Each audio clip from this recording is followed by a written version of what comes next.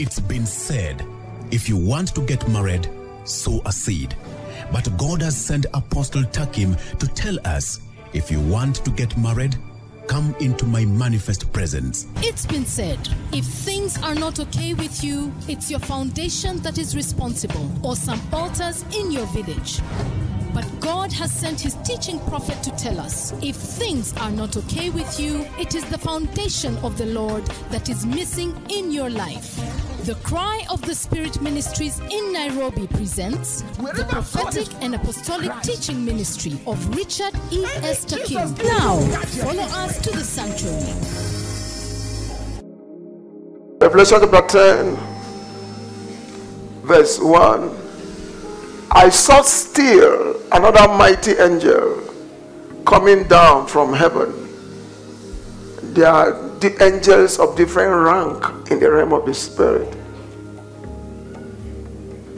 Different rank in the realm of the spirit. Their ranking determines their size. Their ranking determines their size. There's going to be a flow of the Shekinah glory here today. There are three major high ranking angels dispatched for this service. I'm not trying to be spooky. Listen carefully. I saw in the place of prayer two days ago. The Lord said to me, He's putting two here and one into that hall. And when He showed me, I see they manifested, open their mouth, and pour the glory among us. Tell your neighbor, get set for something. The only thing that will deny you a visitation is you, not the devil. Do you understand me? I saw still another mighty angel come down from heaven. Lord, position them as you have said to do your word in the lives of your people. Let no captive live here with captivity in the name of Jesus. He said, clothed with the cloud. That is the glory. Clothed with the Shekinah glory. That is the cloth angels wear. And a rainbow was on his head. His face was like the sun, and his feet like pillars of fire. He had a little book open in his hands. You know, God is a God of books. That is why if you don't read his book, you are in trouble and he set his right foot on the sea and his left foot on the land. Now, this is going to happen in the Great Tribulation period, but listen, there's a template. I don't care where you've been locked up, where the enemy hid you. The Lord showed me a lot of people in the realm of the spirit that are coming here, they have been bandaged tied and bandaged with very filthy and dirty bandages. I saw that in the spirit. Wherever, wherever God is has dispersed these angels. With, with their foot will be in the place of your captivity. And one of the foot will be upon your life here. Do you understand me? So there is no distance. There's no distance. No matter how terrible your root, the root cause of your problem is, God's delivering power will deal with it this morning. In the name of Jesus. He said in the next word, and he cried and cried with a loud voice as with a lion, as when a lion roars. When he cried out, what happened? Seven thunders uttered their voices. Let me read from the Message Bible so that you hear it. We got some Bibles. Those of you that were not here, maybe at the end of today, I will show you the Bibles we brought so that you go and pick them. Let me give you, listen to the message, the way he put it. The same Revelation chapter 10. Since you don't have it in your hand, just give me your attention. Today we'll travel through the world. As we travel through the world, the glory will travel through your life. Look at how the message put it. He said, when he called out the seven thunders, when he called out, the seven thunders called back. That means when this angel, actually this angel is Jesus, when he spoke, seven thunders responded. Do you know the thunders? I will show you. They responded when he spoke. You see, the true voice of God is backed by signs and wonders. is backed by the manifestation of the Shekinah glory. He called once, seven thunders manifested. Seven. He called only once. Look at the next thing. He said, He said, when the seven thunders spoke, listen, I started to write all down, but a voice out of heaven stopped me saying, Seal with silence the seven thunders. Do not write a word. So when John the Beloved saw this, he was told not to write that aspect. Because there's going to be a generation that need to dig deep and uncover what John did not write. You understand me? I told you the reason why the day of the rapture is not known is because everybody will know when the time comes. Through intimacy. Do you understand me? We will travel through Revelation. I want to speak on what I title the seven pathways of the Shekinah glory. The seven pathways. This will conclude the journey we started on Wednesday on how to summon the Shekinah glory. Stand on your feet, let me pray. God of heaven and earth, as we uncover these pathways, take us by faith, activate our faith, and put each and every one that will hear me on the pathway.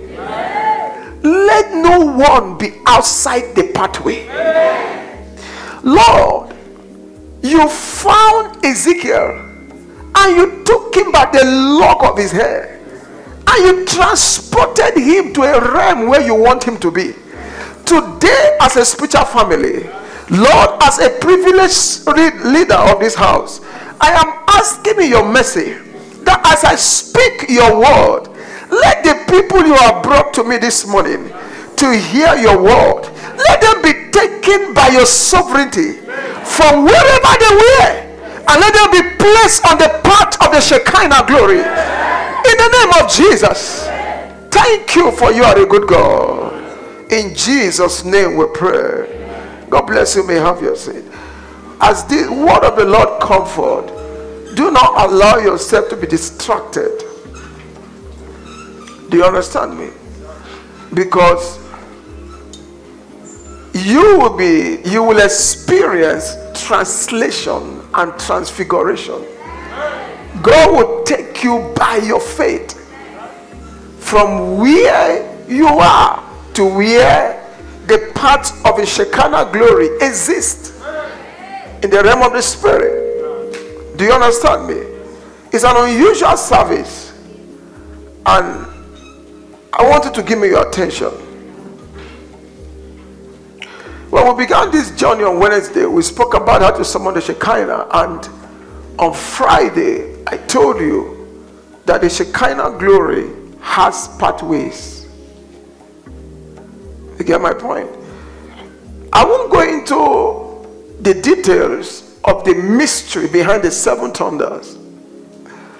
But the only thing I will tell you at this your level is this. When Jesus spoke, Remember, he is wrapped in the 3D of God's glory. The doxa, the Shekinah, and the kabod. When he spoke, the Shekinah manifested into seven dimensions. And John the Beloved saw it as seven thunders. I told you on Friday that I asked some of you, have you ever seen how lightning or thunder create a pathway? If you've seen it under rain, you can see lightning can create a pathway. You get my point? And wherever it passes, it kills trees. If there are trees there, if there are grasses, it kills grasses. Do you understand me? So uh, that is how the Shekinah glory is. It creates pathways in the realm of the spirit. So when God wants his glory to work in your life, he takes you and puts you on the pathway. So it's therefore important that we understand the mystery behind the seven pathways in the Shekinah glory. Actually, when we say the Shekinah glory, for those of you that are new, we're talking about the invisible presence of God that has visible effect. The tangible presence of God that can move. You physically feel it on your skin, on your hair, on your body. It can it can make your face glow the way the face of Moses glowed and the face of um, Stephen. You get my but that's of it can it, it can heal, it can create body cells. It can if your blood has been infected by any disease, it can change it. It can do supernatural blood transfusion. Do do you understand me? People are going to experience it here today. I, I, just saw what I just said. I saw it. I tell you, do not play with this moment, my friend. I don't need to scream or shout. I just saw what I said. There's going to be supernatural blood transfusion here in this place. If your blood had a disease, you're not going home with it. God is giving you fresh one. I said, God is giving you fresh one in the name of Jesus. Now, one thing you should do in this service, do what Elijah advised Elisha. He said, if you see me when I'm taken, it shall be yours. So, so like in Nigeria, we know how to step into moments like this by shouting amen with the whole of our heart. Jumping into things in the spirit. We don't care. When we want to receive breakthrough, we don't care who is sitting by our side. You get my point? You don't care about your powder, your makeup, your hairdo. Let it scatter. If that hair did not scatter, your body will scatter. You get my point? Let the hair scatter instead of my life scattering. If my hair will scatter and go arrange my life, is it not okay? Yes. A woman went to a crusade and the poor God moved so much. She fell under the anointing up to seven times, and I will show you why the anointing flows that way. Seven times, and she lost her shoe. And she went home without shoe. I said, Where's your shoe? I don't care. You've lost it. And so what? I don't care. God fixed my life. I don't care what I lost. Do, do you understand me? I don't care. God fixed my life. I don't care what I lost. She had been barren for years, and the Holy Ghost walked in her. And in nine months, she got her child. Do you understand me? So now, watch this. I, as, as, as there, there are two ways that the prayer you've prayed, like I instructed you to pray, and the effect of the word that I'm going to speak today, and the prophetic utterance I'm going to declare over your life. There are two ways that will penetrate into your life and settle things. Number one, let me show you. Go to the book of Genesis. So that when it begins to happen, you don't resist the Holy Ghost.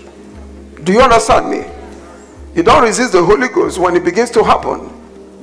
Revelation is what helps us to come into things supernatural. Genesis chapter 2, verse 7. Genesis 2 7.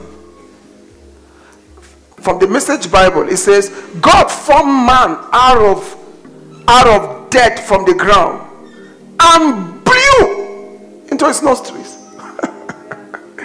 blew into his nostrils the breath of life.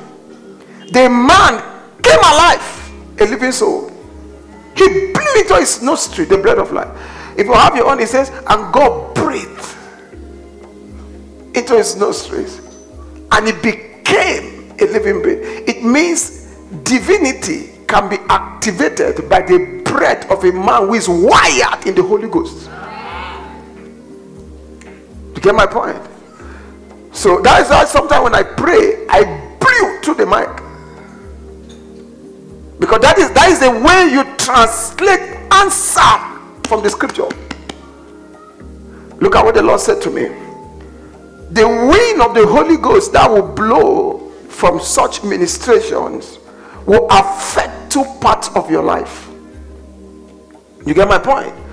In Ezekiel 37, when God told Ezekiel to prophesy to the wind, the wind came upon the bodies and they stood up.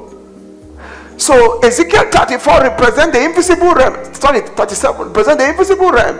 So anything in the invisible aspect of your life that have been damaged before today, God will fix it. As the wind of the Holy Ghost blow, is going to affect your invisible realm. Now, now when it touch your invisible realm, you will feel it visibly and fall on the ground. That's what is going to happen. So God is going. The reason why He dispatched the angels He sent is because the angels of God are equipped to deal with the invisible. You get my point? They are bigger than evil altar. They are bigger than ancestral spirit. They are bigger than generational causes. You get my point? God will. Some of you, if you have enough faith, I'm, I'm declaring everything the Lord asked me to declare. So pick it by faith. If you have enough faith, I see in the spirit a blanket of curses roll away from a family. So, so if you have enough faith, your family is going to obtain their deliverance in this service. In the name of Jesus. Remember the principle I told you before. If one man can stand before the devil and put a curse over the whole family from generation to generation, one person can stand before God and put a blessing in the whole family from generation to generation. In the name of Jesus, whenever God dispatch angels, is to put to, to rest ancient captivities. Things that your prayer cannot solve. There are things that prayer cannot solve because you don't know them. You get my point? That is when the glory appears. So that is the first way that God is going to translate all the answers into your life. Now, the second way is still in the book of Genesis, chapter 2. Let me read from the New King James Version, Genesis chapter 2. Before we go into the word, because as we flow in it, you will experience these things. Genesis chapter 2, verse 21 and the lord god caused a deep sleep to fall on adam. Tell me deep sleep. So the first person to fall under the anointing was adam. On a serious note i've ministered in places where the power came upon people. Some were there for 12 hours. You, you get my point my father-in-law ministered in a place the poor were rested on people for two days. They were sleeping for two days. Their, their family took them home, put them on the bed. Sleeping continues. Deep sleep from the Holy Ghost. Why will God put you into deep sleep? Look at the next thing. He caused, the Lord God caused a deep sleep fall on Adam and he slept.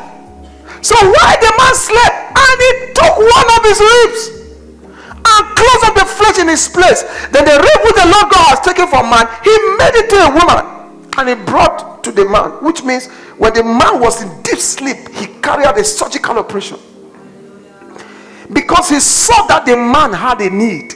It is not good for him to be alone. And God said, I want to meet his need, but let me send him to a deep sleep.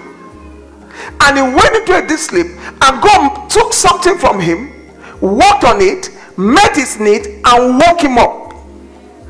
I said, This is what we're looking for. This is what I want to do in your life. This is what I have done. So when the deep sleep of the Holy Ghost come on us, is to walk on us. Are you hearing me? Is to do what?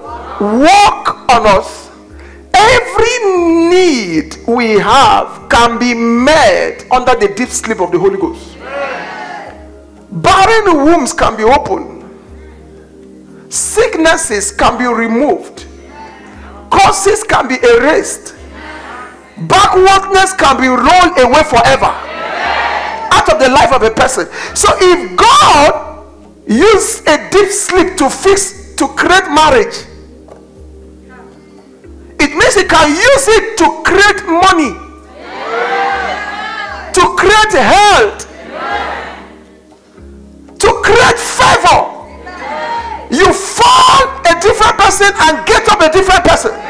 You fall sick and you get up healthy. You fall poor and you get up favored of the Lord to become rich. You fall under a curse and you get up blessed of the Lord.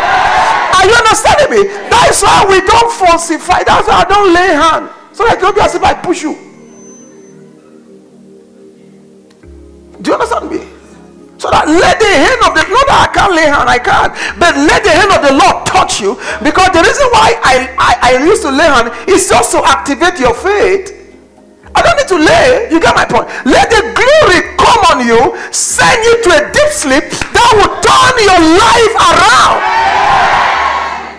And God will carry all the prophetic promises, all the answers to your prayers and everything you need in your life. He will put it in your life while you are in deep sleep. In the name of Jesus, there are a lot of amazing miracles that have happened from deep sleep. A man of God was very mightily used of God. One day, the doctor, he said, the doctor diagnosed he had a sharp pain in his um, spinal cord, and they went to scan. They said the thing had shifted, that he had to go for surgery. He now told them that that is the verdict of the doctor. Let me hear from God also. He went to the Lord, and the Lord told him, because he's a preacher, he said the Lord told him, put on your message, your own message, and listen to it. While you are listening to it, my power will send you to a deep sleep. You will wake up and your bone will be adjusted. So he put his videos and was listening. So while he was ministering to people, you know, sometimes these are our video guys, they don't capture ministration, which is not good. Are you hearing me, Sam? They don't capture like like the day the glory descended on Saturday during the end time conference. You remember? They didn't capture it. I wish they capture it. When you capture such moment and take it home, it duplicates the effect. So the man, his videos, he captures ministration. So why he saw himself ministering to people and releasing the power of God, the power of God came from TV and hit him. He fell on the ground and slept from that day till the following day. When he woke up, his bone adjusted. That thing happened twice. Another time he, he broke his bone in the hand. It was to go and preach the following day. The same thing happened. So when the doctors came the following day to check his bone, by the time they checked, the bone that broke before had been replaced. They now say you are not a human being. God have done wonders through deep sleep. You get my point? So when people fall under the anointing, we are not playing a charismatic game. This is the supernatural realm of God. It began from Genesis chapter 2 and it was under the glory. Do you understand me? Sometimes people transmit diseases to people. The food you eat, gather some stuff underneath. People could poison you through things you eat without knowing things that should manifest later in your life, and God will just come and cause you to throw them out through the deep sleep. So these are the two ways God is going to move today. So I want you to open your spirit as His word comfort. So look at Psalm 102. We're going to camp around Psalm 102. That will be our book of consideration today. Psalm 102, verse 12. Psalm 102, verse 12. Look at what the Bible says. It says, But you, O Lord, shall endure for how many days? Forever. And the remembrance of your name to all generations. I pray that God do something in your life today that will cause his name to be remembered from generation to generation. Oh God in heaven, do a thing in the life of your people today that will cause your name to be remembered forever. Do a thing in the life of someone here today that will remove blindness from the eyes of their families. Do thing in the life of someone here today that they will see your light, oh God, as the entire family. Use someone today, oh God, as a tool to remove veils and darkness from an entire lineage. Do something that will cause your name to be remembered for generations. In the name of Jesus. The Bible says, You will arise, verse 13, and have mercy on Zion. We are the Zion. Zion is a, is a prophetic name for the church, for the Christian, for the child of God. I know in, in the Israel there are Zionists. That's not what I'm talking about. He said, You will arise and have mercy on Zion. Why? For the time to favor her, yes, the set time has come. Now, now you can read this scripture and claim it when it's not time, and nothing works. Those of you that were here on Friday, you know how the service began. You know, I was preaching, and the Lord said to me, Look at what it's about doing today. So it's a set time for someone favor. Now, it is a set time when God says a set time. And because God spoke to us and says it's a set time, the Bible says the expectation of the righteous shall not be cut off. When God said, This is my time to favor you, you need to build up prophetic expectations and trust God to do His word in your life. Tell your neighbor, it's my set time. Say again, it's my set time for a major move of God in my life. Thou announce His name for generations.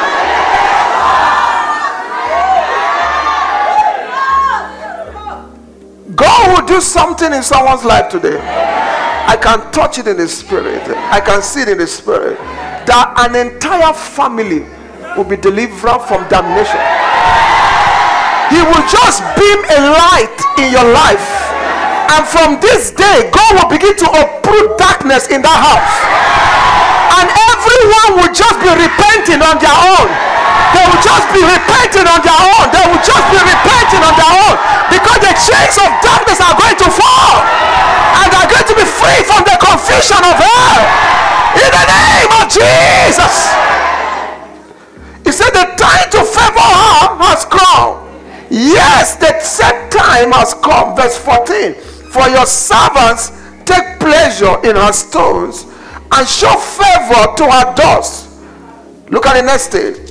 So the nations shall fear the name of the Lord. God wants this nation to fear his name. The crown of spirit is going to be a foot of his glory. God will do terrible things in righteousness here today. That will cause this nation to fear him. In the name of Jesus. What is going to come upon you will take off the entire 2019. It will make the entire 2019 a year of going forward for you in the realm of the miraculous. God will begin to announce his name and cause his name to be feared in this nation by reason of the miracles and the outpouring that we're going to be experiencing in your life. Receive it in the name of Jesus. Tell the Lord in one minute, make me a signboard of your fear in this nation. Do something in my life that will announce your fear, that will make this nation fear you. Mikilibra Satala. Something that will make this nation fear you. Something in my life that will make this nation fear you. Do something in my life that will make this nation fear you. That will make this nation fear you. Something. Makilibasata. Lord, do something in this place that will make this nation fear you. That will make this nation fear you. Something. Something in this place. Makilibra satale kaya baba. Makalabra satale kaya baba satale. In Jesus' name we pray. You may be seated. So the nation shall fear the name of the Lord, and all the kings of the earth your glory. Verse 16. Why would they fear his name? For the Lord shall build up Zion. He shall appear in his glory. We're going to get to verse 22, but let's look at verse 16. For he shall appear in his glory. The, what, what glory? The, he shall appear in his doxa to reveal himself. He shall appear in his Shekinah to demonstrate what the doxa has revealed. He shall appear in his kabod to bury people in his goodness. He shall appear. So these are not days of the anointing oil in a bottle. These are days of the glory of God, uh, the, the, the tangible presence of God. Are you understanding me? That will set us on fire, keep us aflame in the Holy Ghost, make us untouchable. For the Lord shall appear, for the Lord shall be on He shall appear in his glory. You see,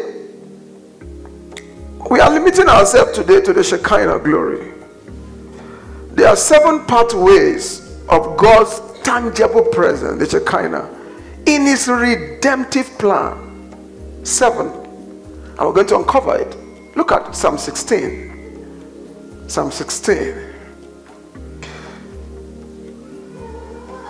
Psalm 16. Makilibra setele yabakada. Lekabo soto le maya baba. Rekaba sataleo.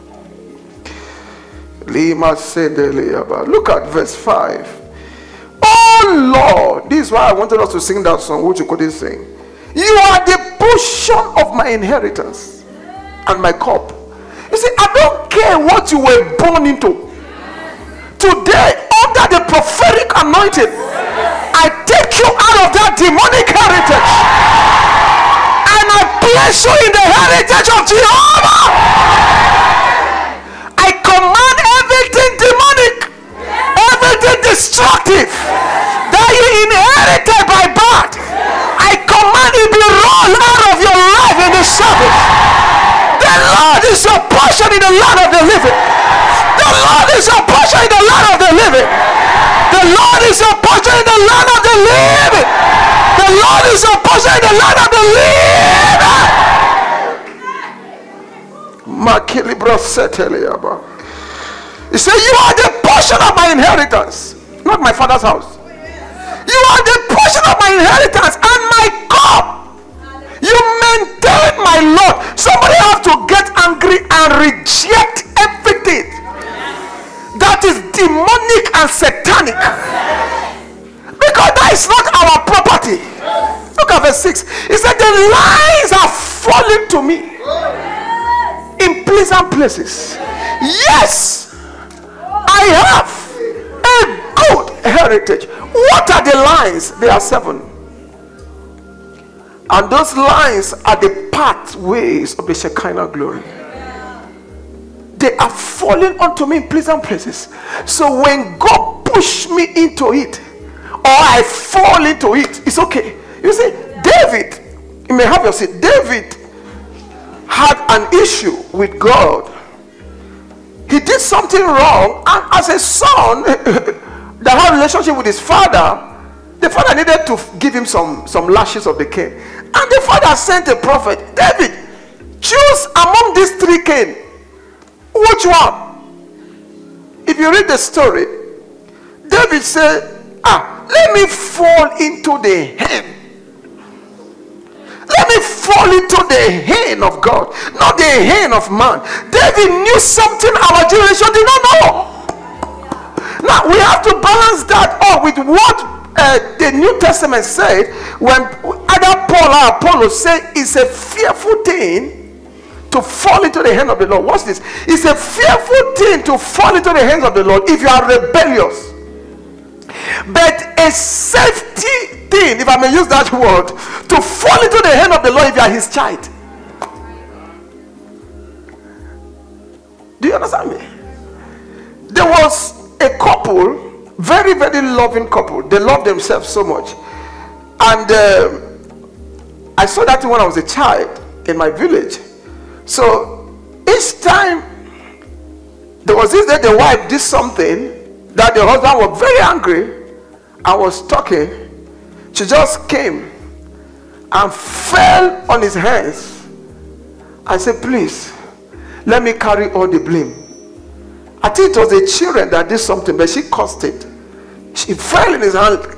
I say, You just beat me. Don't beat the children. Beat me, beat me, beat me. And the man started laughing.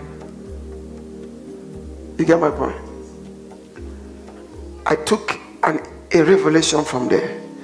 When we fall in the hand of our Lord in repentance, his anger ceases. Do you understand what I'm talking about? His anger ceased. His anger ceased. That was how that something was settled. You get my point? The man looked at the wife and said, How can I lay my hands upon you, my wife? Get up and embrace me. and the matter was settled. David said, I better fall in the hand of the Lord because that is the realm of the Shekinah. It has seven pathways. Is somebody hearing me? The first pathway that you find, this is the first one when you want to step into Shekinah glory. The first pathway is the pathway of God's mercy. That's the first pathway in the Shekinah glory. And if you read our devotion, I was here yesterday also, I wrote something there that mercy is we not getting what we deserve. That means you deserve death, and God said, No, I changed my mind. You deserve sickness, and God said, No, I heal you. You deserve, you deserve punishment, and God said, No. You deserve a curse, and God said, No. That's what mercy is. Do you understand me? There's a pathway called God's mercy in the Shekinah glory. And look at what the Bible says about this pathway. Look at Psalm 103. Psalm 103, verse 11.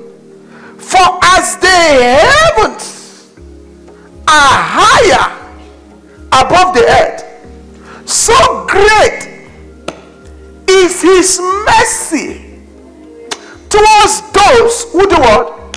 Who fear him. As the heavens are higher than the earth, so great is his mercy towards those who fear him. As far as the east is from the west, so far has he removed our transgression from us. So when you step into this pathway, transgressions are removed. Sins and consequences are erased. Do you understand me?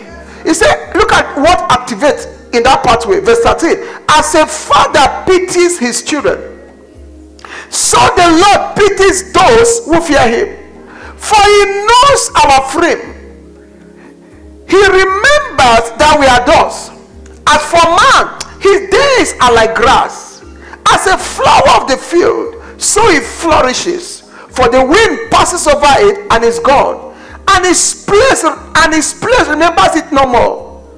But the mercy of the Lord is from everlasting to everlasting on those who fear him and his righteousness to children's children, to such as keep his covenant, and to those who remember his commandments to do them. Now, what is God saying here? When we step into the pathway called God's mercy in the Shekinah glory, God will x ray our frailty he will look at how, how mortal we are, how frail we are. He said, No, let me not break this thing. Is somebody hearing me? Let me not break these things. Let me not break. Let me just preserve this egg from breaking. That's what this scripture is telling us. Let me show you one more scripture. Look at Exodus 33. One of the earliest early, early men in scriptures to step into the Shekinah glory was Moses. Look at what he says. Exodus 33, verse 18. And he said, Please show me your glory. Then he said, I will make all my goodness pass before you.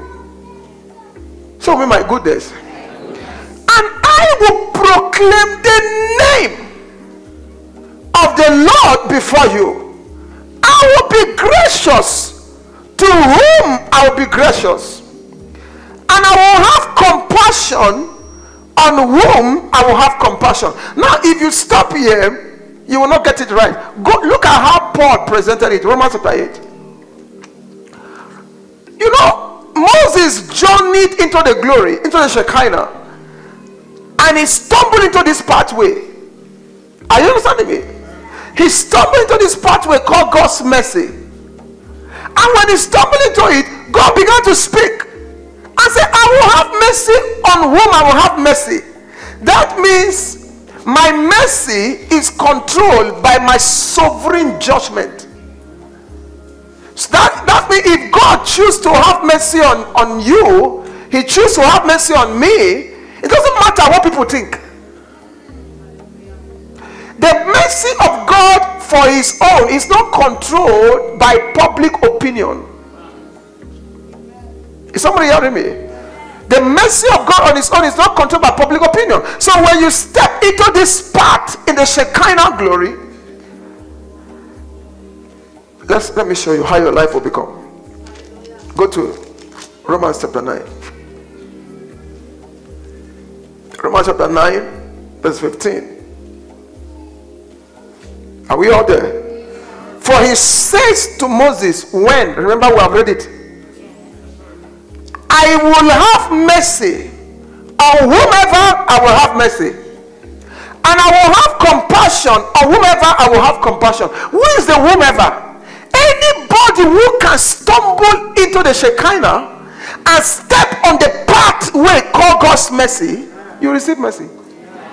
Is somebody hearing me? That's what he's saying. God is not saying, I will choose to have mercy on this and choose not to have mercy on this. He was simply saying, There is a pathway in my Shekinah glory called mercy. And this mercy that exists in that place is from everlasting to everlasting. Anything within the glory does not die. Anything within the glory is described with the word everlasting, it's described with the word eternal. Do you understand me? You don't describe things in time with the word eternal. So it is things in the glory you use the word eternal to describe them. And God is saying this kind of mercy that you find in the pathway in the Shekinah is from everlasting to everlasting. It, it lives longer than the people. Do you understand what I'm saying? That is why when God have mercy on you, your children will come to inherit it because it is from everlasting. Somebody must step into that part here today because when you step into that part and your days are fulfilled and you die because it is from everlasting to everlasting, your child will begin to reap from the same mercy. You can see that in the life of David. David lived there. Go look at Manasseh. Manasseh, you brought no sense to Israel. He sacrificed human beings. He worshipped all kinds of devils. The portal that Manasseh open in Israel, very few can open it. The evil portal.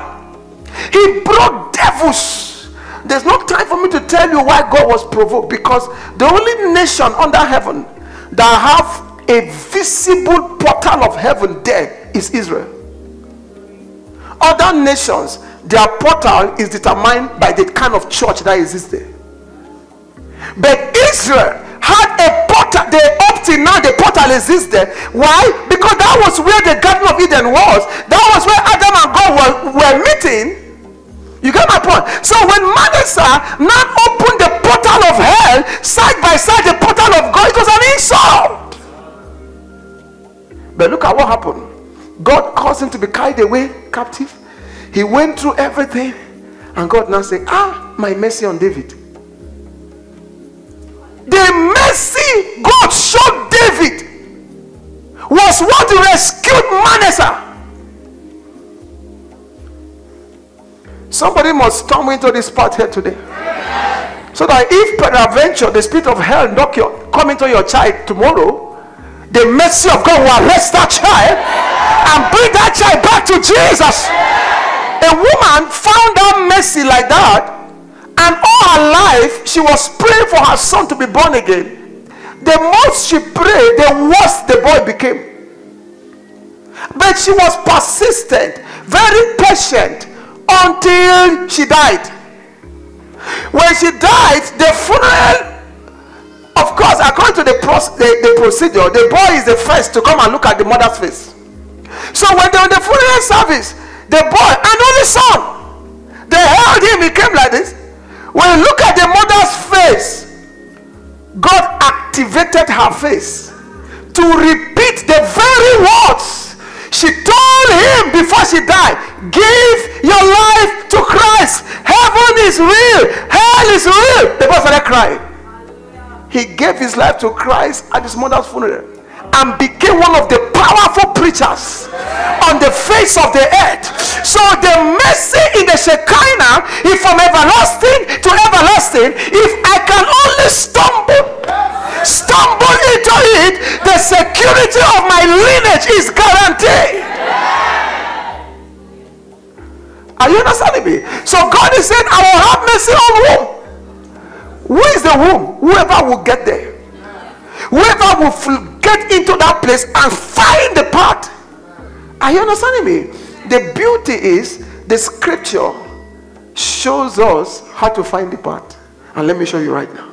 How do I find this path in the Shekinah? How do I locate it? Let's complete what we are reading. He said, I will have mercy on whomever I will have mercy. And I will have compassion on whomever I will have compassion. Look at verse 16. So then, it is not of him who wills. It's not your certificate.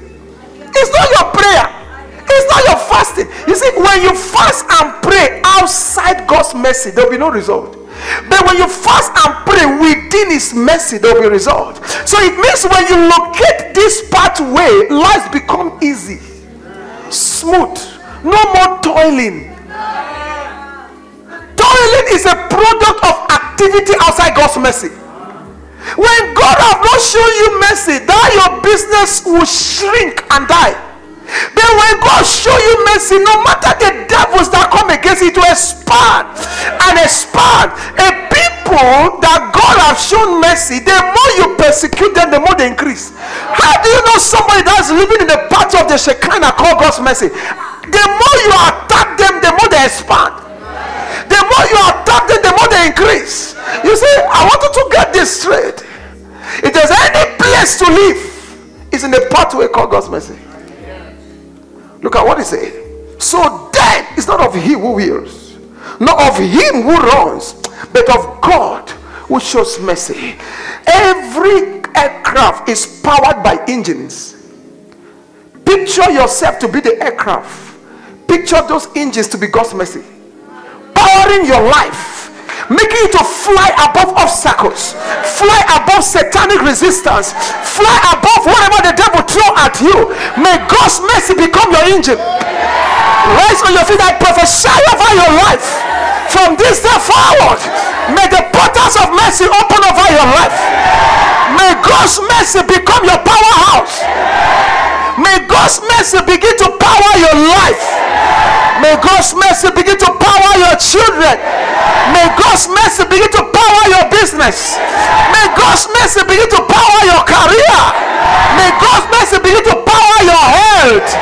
May God's mercy begin to power your economy. I prophesy, may God's mercy begin to power your economy, your economy, your economy, your economy. May God's mercy power your economy. May God's mercy power your faith. May God's mercy power your faith. May God's mercy power your prayer. May God's mercy power your fasting. May God's mercy power your giving. May God's mercy power your tithes and your offerings. In the name of Jesus. It's not of him who wills, not of him who runs. It's of the Lord who shows mercy. May God bring us to that realm when we don't struggle like others. I said we don't struggle like others. Why? Because we are a people of God's mercy. Are you understanding me? So the days of toiling can come to an end today. Hallelujah to Jesus. Now look at what the Bible says. I love operating in a realm where it's not of he that wills. Let, let me tell you how beautiful that realm is. Let me just give you a parable. People are running on a race, a hundred meters race, and you that have God's mercy, there's a prize there to pick. You that have God's mercy, as soon as you got up, ah, everybody around you have moved like a bullet, and you are behind them and you're still running with your wobble leg. By the time they are getting close to the price, something just happened. This will fall, this will fall, this will fall, this will fall, And you get there and pick the price. May that become your experience. May that become your experience. May that become your experience. In the name of Jesus. That is God's mercy. It's not of he who runs. It's not of he who wills. Let me tell you something that happened in Nigeria in 2011. 2010, 2011. One of the most coveted, coveted presidency in Africa, I would have said the world, but in Africa, is the presidency of Nigeria. If you become a Nigerian president, even if you don't steal, the money they will give you, companies will just plow money into your head. The favor and the privileges are so many. You control so much. You are the most powerful person in the nation. You get my point? Enemies will become friends in one second.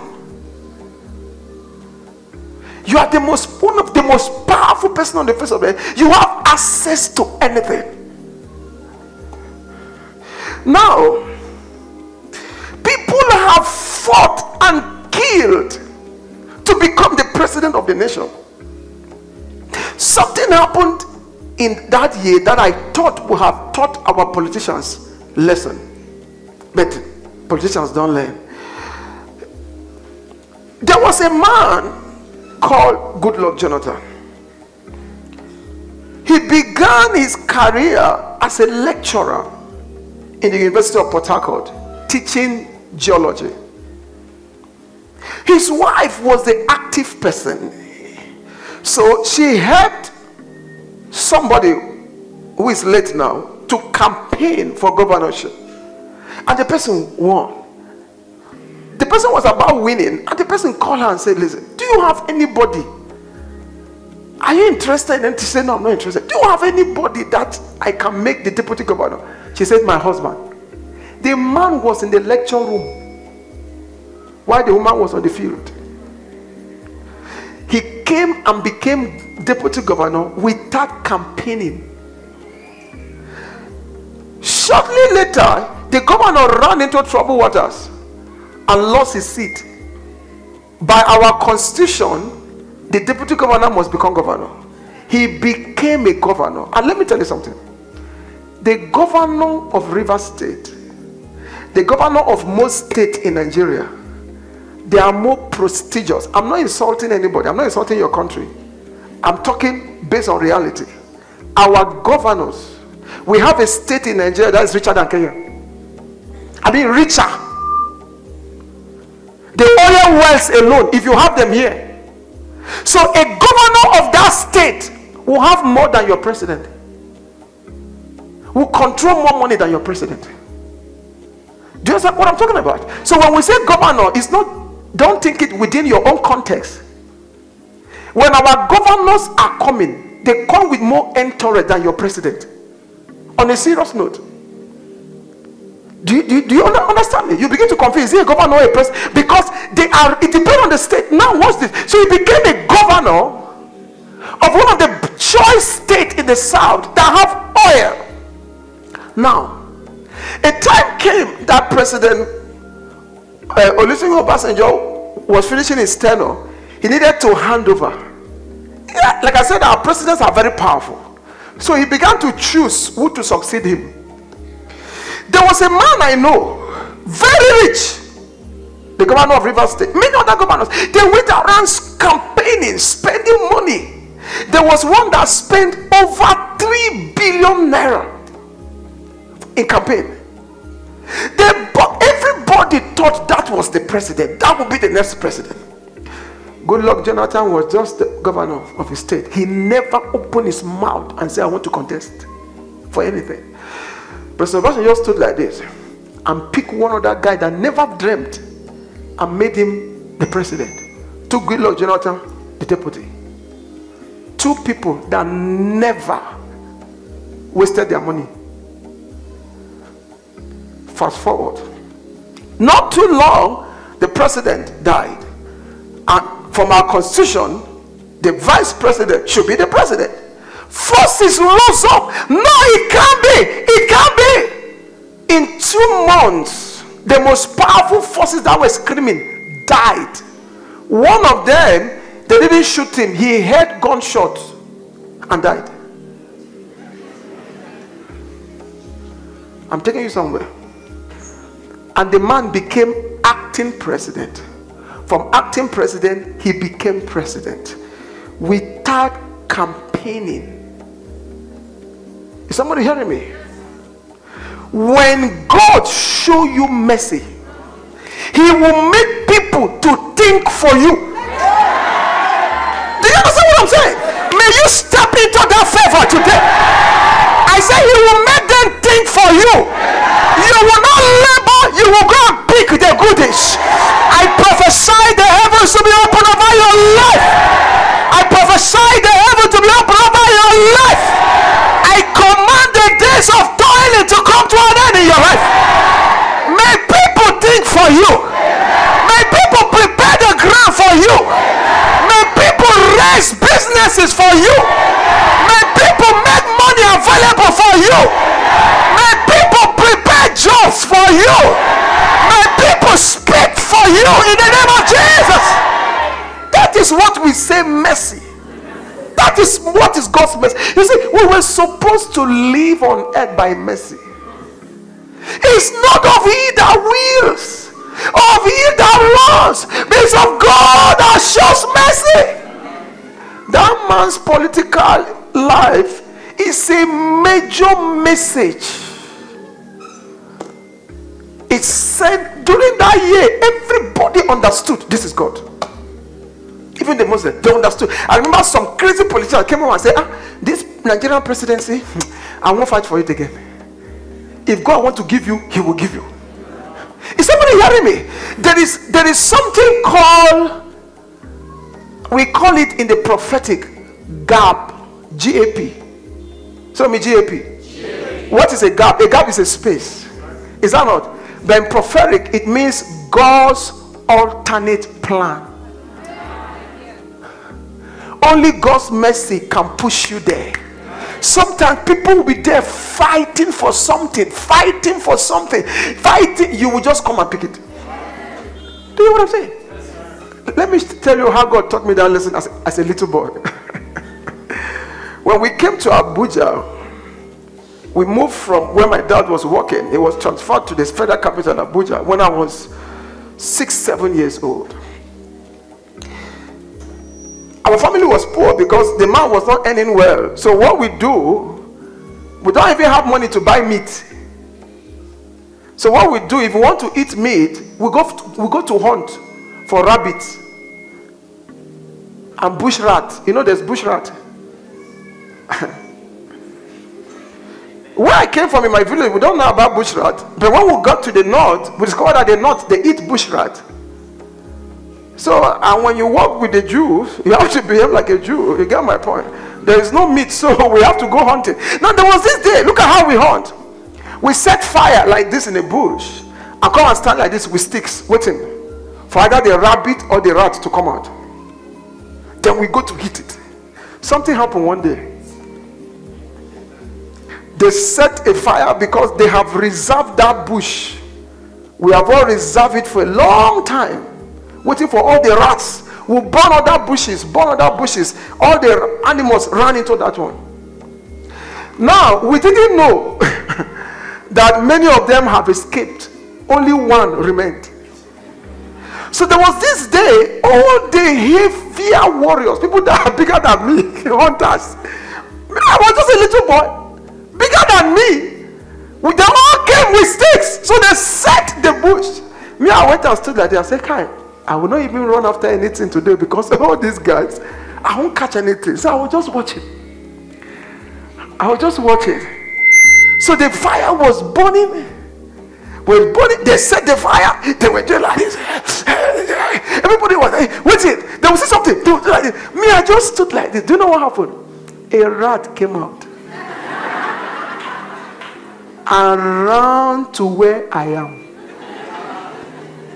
When it was running, everybody, ah, ah, ah, they were dodging, they couldn't kill it.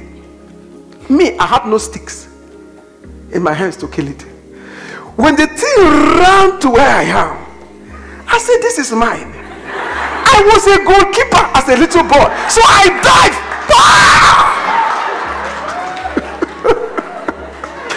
and the thing bites this my finger. You see this finger? He held it. I didn't feel the pain, my friend. I pulled it back. And I went like this. And I took it to the house and I roasted it. All of them wait. They set the fire. They tried to kill it. It dodged and got to me. May others labor and you reap the labor. May others labor and you reap the labor. I prophesy over you today. If you have been suffering and toiling and toiling from this day forward, others will labor and you will reap the labor. Others will labor and you will reap the labor. In the name of Jesus. Where is it in the Bible? John chapter 4. Quickly, let me show you. John chapter 4. Look at what Jesus said. Tell your neighbor, we must know the generation we belong to. Look at look look at what Jesus said. Open quickly. John chapter 4, verse 38. verse 37. I love this.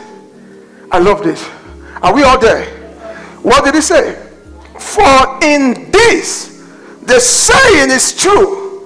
One sows and another reap. May this scripture become true in your life. May this scripture become true in your life. I feel strong in my spirit that people are being ushered into this realm from today. They have cheated you for too long. They have taken advantage of you for too long.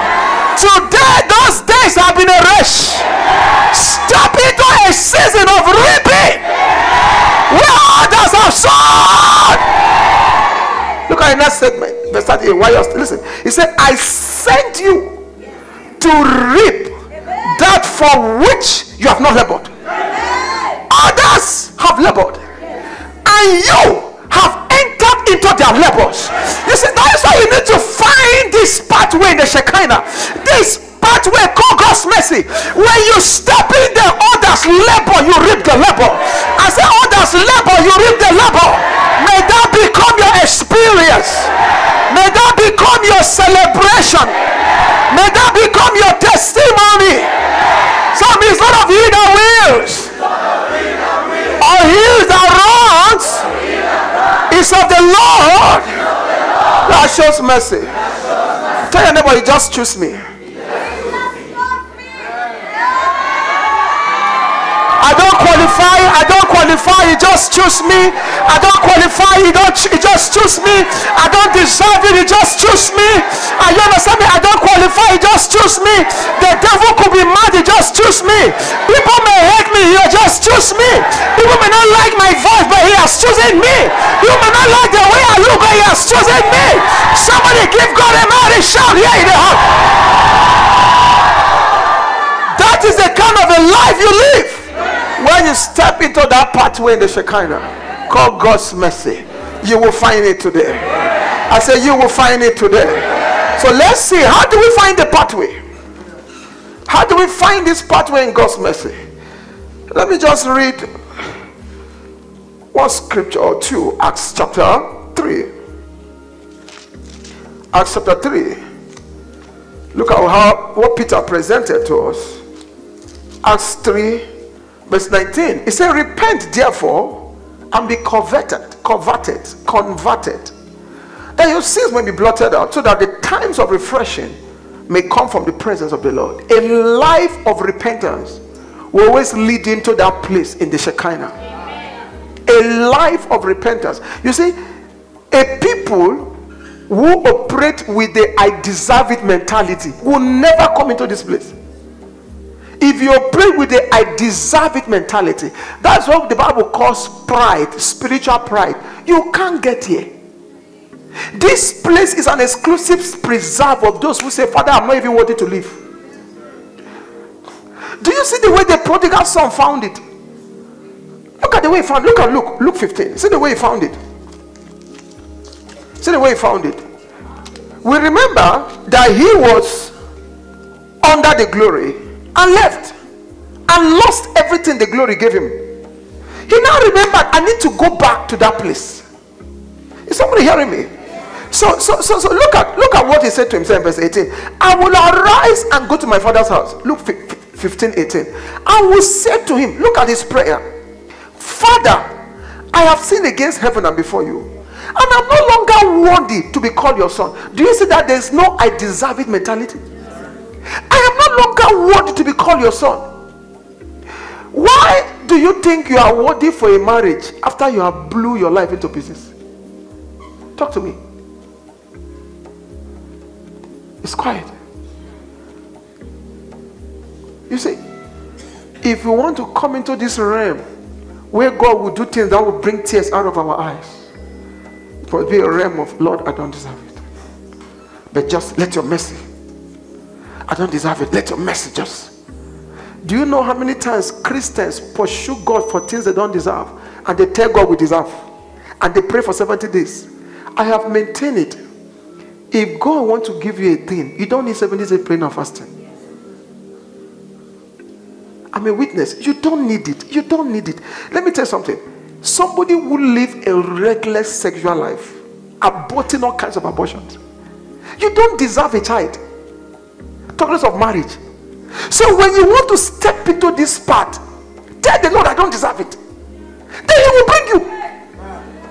That's what the prodigal son did. He said, I am no longer worthy. I was your son before. But based on the things I did, in fact, I have passed judgment on myself. It's good for us to judge ourselves. The Bible says when we judge ourselves, we shall not be judged. So I have passed judgment. You know why? In the in the culture where this story was written, when a son leave the father's house on his own, he has ceased being the son. He, he shouldn't come back. In fact, in that culture, that's why they understood the story. In that culture, when the son is coming back, anybody who meets him on the road, they will stone him and make sure he doesn't come into the place. But look at what the father did. The father went ahead of the people to meet him on the way before people comes. And thank God he met the boy with the right attitude. The I don't deserve it attitude. I don't deserve a house. I don't deserve a job. But let your mercy. Let your mercy just speak for me. Do you understand me? That is how to find this pathway in the Shekinah.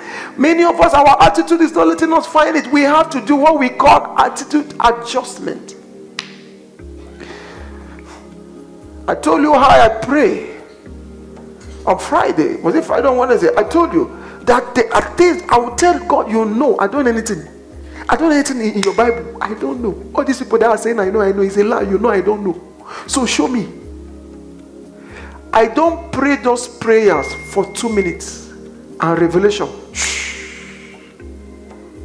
will break forth. So when I'm speaking, people will think this guy has super intelligence. No, I'm a super fool. It's the Holy Ghost. Is somebody hearing what I'm talking about? It's the Holy Ghost. Nobody deserves anything. If we must find the pathway, we must enter in with I don't deserve it mentality. Look at Paul. Paul called himself the chief sinner, and yet he has not slept with any woman. He didn't do anything. He still called himself the chief sinner. Do you think he was sinning? No. Attitude. That is how to find your path into this part of the glory. Let me tell you what happened. When you locate this part in the glory, look at the beauty of it. You come face to face with the throne of grace. Oh, this is real. You come face to face with the throne of grace. Hebrew tells us that you begin to find help in time of need. That means God will make sure divine help overtake your time of need. Is somebody hearing my language here today? I mean, as the time of need is appearing, help is showing forth. When the landlord is asking for money, money is coming. When they are looking for this, this is coming. When the doctor is asking for his bill, the money is coming. When watch this, it has when the doctor when the landlord calls where do I come for my money? You begin to stammer. M M M M M M M. Come on, Thursday, Thursday. So that so that he will drop the line, and you are not sure. But because you are on that path of mercy, as you say, come on Thursday just to put him off, heaven will bring the money on Wednesday. Put it in your hands. That's what I'm talking about. There's a generation that before they call the answer, once they are still speaking, he has heard. They carry what I call a compelling anointing. When they walk in places, it fashions the hearts of people to do them good. You have to locate the path. In the Shekinah glory. Is somebody hearing me? So the prodigal son was a wise man. He told the father, Me, I am not worthy to be called your son. The guy was not a fool. You cannot deny your. DNA. You cannot cancel DNA. But the guy said, I am not worthy. Treat me as a servant. And the father now said, You have found the path with your attitude.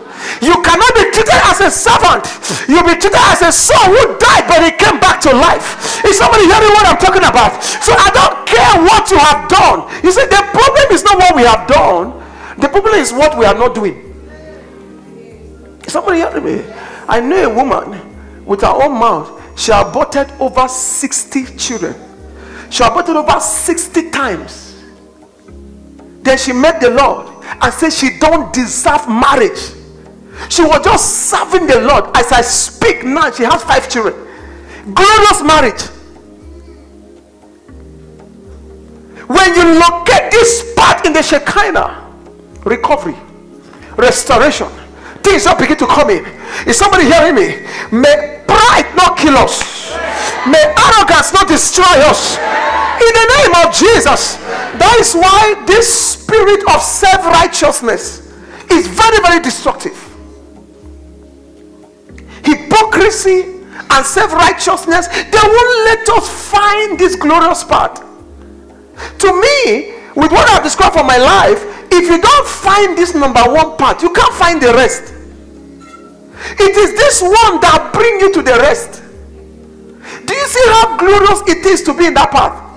How things just begin to happen for you. You see, life was not meant to be difficult. Do you hear what I say? Tell you about life was not made to be difficult. Say again, life was not made to be difficult. It now means if life is difficult to me, there is something I don't know. There's a realm in God I've not stepped in. Who told you that you cannot? You can. You see, I have seen many many fatherless, motherless people that are richer than the fatherful. Do you know what I'm saying? Richer than the fatherful and motherful. You know why? They found this place and help begin to pour. Help just begin to come on them. When somebody is looking for who to favor, he locates them. When somebody is looking for who to promote, he locates them. When somebody is looking for who to recommend, he locates them. May that favor begin to work in your life. May that favor begin to work in your life. In the name of Jesus, announce it loudly. Say, My days. That is two weeks. Say, My days of toiling are over. Time. Say, My days of toiling are over. One more time. Say, My days of toiling are over. Say, From this day forward, the part in the Shekinah that contains God's mercy will become my dwelling place. I shall be favored. I shall be identified for favor. I shall be distinguished by God's mercy. God's mercy will keep me. God's mercy will sustain me. God's mercy will fight for me. God's mercy will provide for me. Give God a mighty shout of praise. You may have your say. The prodigal son located that path. Look at what it gave him. Look at what it gave him in verse 22. But the father said to his servant, Bring out the best robe. Did he ask for best robe? No. And put it on him. And put a ring on his hand. And sandals on his feet. I've taught here before. I told you the meaning of these things. And bring the fatted calf here and kill it. And let us eat and be merry. For this my, my son was dead and is alive again. He, will, he was lost and is found. And they began to be merry. May heaven rejoice over us. In the name of Jesus. One other way you step into this mercy of God is when God, in His sovereignty, overlook the things you did in ignorance. That should sink in your spirit because some of you are stepping into the miraculous based on that today. The things you did in ignorance. Now that you have known, God will now say, Okay, I will push you into that realm in the Shekinah where you begin to reap the benefits of my mercy. The Bible says, In time of ignorance, He overlooks. So it means the only way to come to that pathway of getting such a benefit is you seeking for knowledge, becoming hungry for what you never knew. Is somebody hearing me? Because in time of ignorance, he overlook. If you look at what Paul said, he said, In time of ignorance, God overlooked. Now he commands that we should repent. How can you repent if you don't know? Repentance is a product of revelation. When it's revealed, you repent. When it's revealed, you do what? You repent. When it's not revealed, you can't repent because you don't know what to repent from. So as we pursue the knowledge of the Holy One, God push us into the places. Let me let, let, let me show you something I read in Psalm, Psalm 94. What the, the message Bible. I've not seen it like that before in my life. Look at look at what it says. There's a scripture I normally read here, Psalm, uh, Psalm 94. The beauty, the beauty of pursuing the knowledge of God when you realize that you you almost destroyed yourself in ignorance. Is somebody hearing me? How many of you have realized since you came here that you almost destroy yourself in ignorance? Oh, that means this message is for you. That means this part in the Shekinah is for you. Are you understanding me? So when you realize that I almost destroyed myself in ignorance, you now start pursuing knowledge. You pursue knowledge. Look at what God will do. Psalm 92. Listen to me. Let me just read it from verse 12. Listen. Since you don't have this Bible in your hand, listen. It says, How blessed the man you train. Rock and James said, Who the Lord teaches. How blessed the man you train. God, the woman you instruct in your word, providing a cycle of quiet within the clamor of evil. While a jail is being built for the wicked. That means when God now say, okay, Father, I blew it. I blew it. Now I know. I want to sit down and be taught your word and be trained in your word. God will say, now, because you have now sat down to be trained in my word, you have sat down to know I erase the consequence of everything you did when you never knew. Now, while you are seated and I'm training you and instructing you, every demon that came to attack you, I'll be building a jail for them. So it means whenever we sit down to learn, construction is ongoing. Did somebody understand what I just said? When as you sit down, you are learning those demons that came to attack you when you never knew. That move into sexual perversion, abortion, wickedness, stealing, everything, idolatry, and everything you call Christianity. As as you sit down, God will say, Now I want to build a jail for them. The words of the message. I want to build a jail for them. And, and so, so while you are there learning, precept upon precept, construction is going on. And the demons will parabolate him. And the angel will say, Hold on, let this construction work finish. Sometimes they, they could even come back to attack you. But now you have known, you can resist them. And the demon will, and the angel will say, Don't worry, let the construction be completed. You get my point? Here is the point. When your obedience complete, construction complete. So, so as you learn the word, you, you live the word, you respond to the word, the construction is ongoing. When your obedience become fulfilled, God will pick them like this. Oh yeah, enter. And decree a jail term. Do you know that God speak from eternity? So he does not give 100 years in prison, he does not give seven years, he gives eternity. He gives what? Eternity. He used the word be in this cell forever. So because he has put them in the cell forever, you will not see the attacks again. Is somebody hearing what I'm talking about? The attacks will cease. So you begin to live in a life of rest on every side. So me, Lord Jesus, open unto me the parts in your Shekinah that contain your mercy. I want to dwell there. I want to live there. Transport me and my children and my family to that part of your Shekinah that contains your mercy. If you believe in your prayer, shout a loud amen. Yeah. The second part of the Shekinah, I promise you, I want to show you seven. I will have shown you only two the first one and the last one and leave the rest? Or do I do it that way? Do I show you the first and the last? The Alpha and Omega. Of course, Jesus is the Alpha and Omega. So the second pathway in the Shekinah is a pathway of God's eternal purpose in time. There's a pathway in the Shekinah glory that is called God's eternal purpose in time. When we step into that pathway, we begin to experience divine acceleration. You know, one of the assignment of the prophetic is to make the invisible real to us. Do you understand me?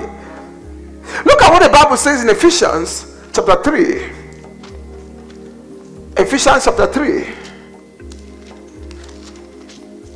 I will fulfill my destiny.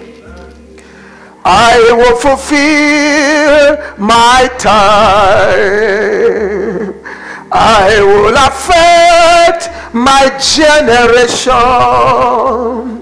I will touch more lives. Ephesians chapter 3, verse 10. I love this. To the intent that now the manifold wisdom of God. That is the many sided variety. Oh my God. Complicated wisdom. The manifold wisdom of God may be might may, may, might be known by who?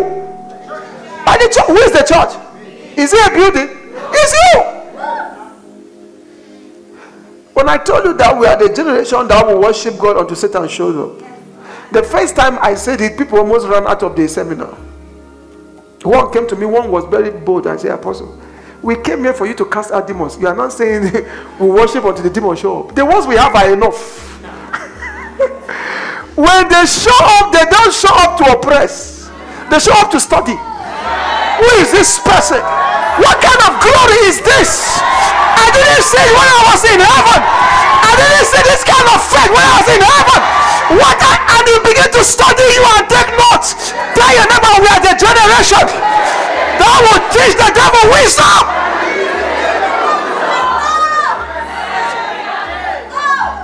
That will study you. You have not paid your rent. You are still singing, Father God. You are wonderful. You are excellent. You are marvelous. You are not married yet. You are happy. He who is married is not happy. So the devil will not come and study you. You are single and you are happy. He who is married is sad. Are you understanding me? So you come and study. Take note. What kind of thing is this? May your life fill him with notes. I said, may your life fill the devil with notes to write. In the name of Jesus. But this happened when we step into this second place in the Shekinah. It begins from the message. Look at what he said. Look at what he said. He said, To the intent that now the manifold wisdom of God might be made known by the church. To who? To the principalities and powers. Where? In the heavenly place. They will beam their satellite on us. Not to attack because you don't attack people in the glory, but to learn. That's what the Bible says. Look at the next word. According to what?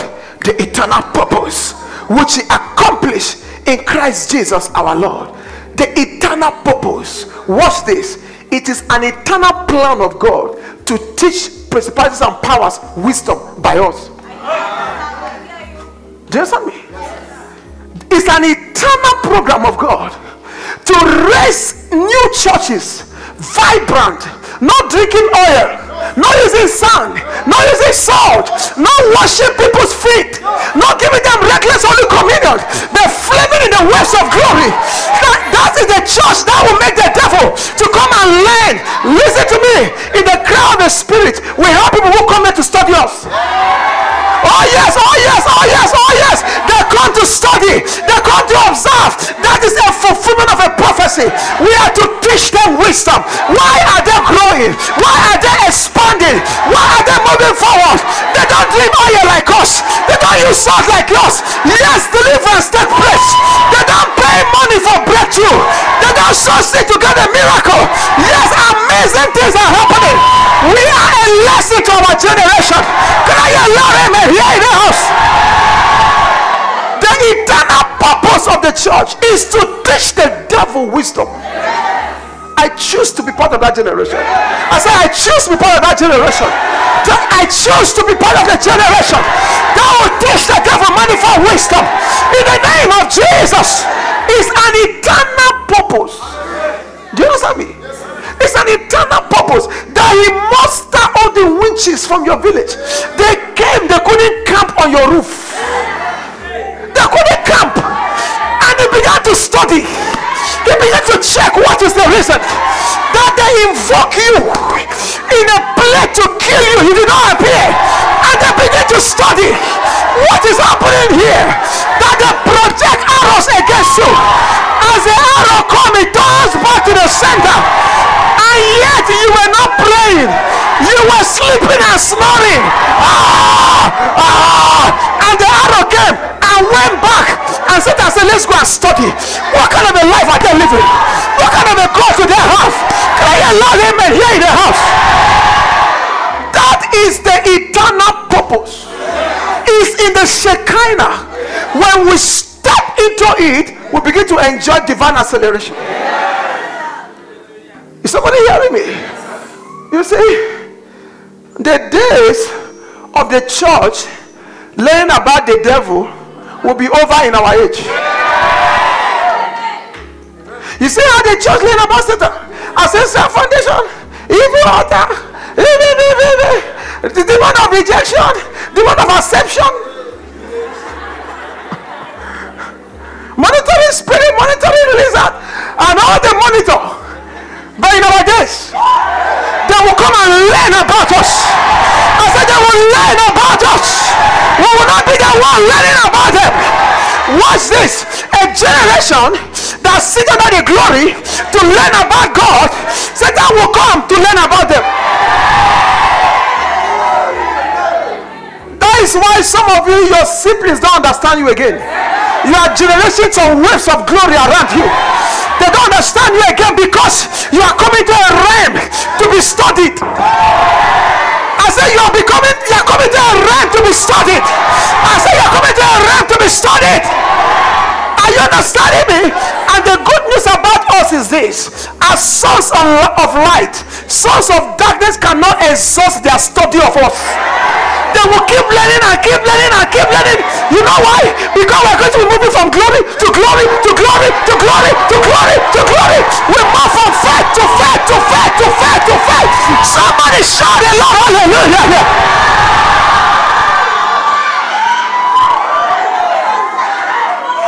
That is why they cannot exhaust the lessons. They will not graduate. I said they cannot graduate. So long as we are concerned, they cannot graduate. So long as you are concerned, they cannot graduate. They will keep learning and learning and learning and learning until we go to be with the Lord. And they will keep learning and learn about our children and learn children, children. Are you understanding me? That is the eternal purpose of God for the church. That is the purpose. The day I discovered this many years ago, I said to myself, Lord, help me to complicate the devil. That when he see me, he gets confused. When he saw Jesus, he was confused. He thought he has killed him, took him not to the cross, put him there, brought him down, scattered his flesh, buried him, sealed the grave, and it's over. Nonsense. When he moved like this, on the third day, on the third day, the resurrection power stepped into the grave and brought him out. And Jesus came to declare, I am he that liveth and was dead. And behold, I'm alive forevermore. And I hold the keys of hell and of death. Are you understanding me? So Paul later came and told us, if they have known, they would not have crucified because they don't know. If they have known, they would not have called you single mother because they don't know. If they have known, they would not have called you a useless Christian because they don't know. If they have known, they would not have described you according to your history. They will not describe you according to your prophecy because they don't know. We will complicate the devil. We will confuse him. I said, we will confuse him to the intent that he may be known by the church. Manifold, the many-sided, they're complicated. You know why? Because you will display your own, I will display my own. When he comes, he become confused. Looking like this, are you understanding me? Looking like this, looking like this, he gets confused because all of us are going to glow. I said we're going to glow. I said we're going to glow in the glory. In the name of Jesus. This is an eternal purpose. In the Shekinah glory that we must step. How do you step into it? Stop learning about Satan. That is all. Because he's to come and learn about us. That is why all my life I've not taught evil foundation. I've not taught evil altar. I've not taught monitoring spirit. I've not taught about the devil. Because they are not their God. Shall be strong. And they will do exploit. Are you understanding me? I've taught about God. I've not finished teaching. I will not finish teaching until I leave the earth. Because from revelation to revelation to revelation to revelation, we cannot exhaust the lessons. When I stop learning about the devil, the devil will start learning about me. Write it down. Write it down. When I stop learning about the devil, the devil will start learning about me. Is somebody hearing me? When I stop learning about him, he will start learning. He will start learning. Somebody is going to switch classes today. Where you have son learning about the devil, you're going to put him there to learn about you. Is somebody hearing what I'm talking about? Because you will confuse him and blow his brains. Is somebody hearing me? Because we are going to step into that eternal purpose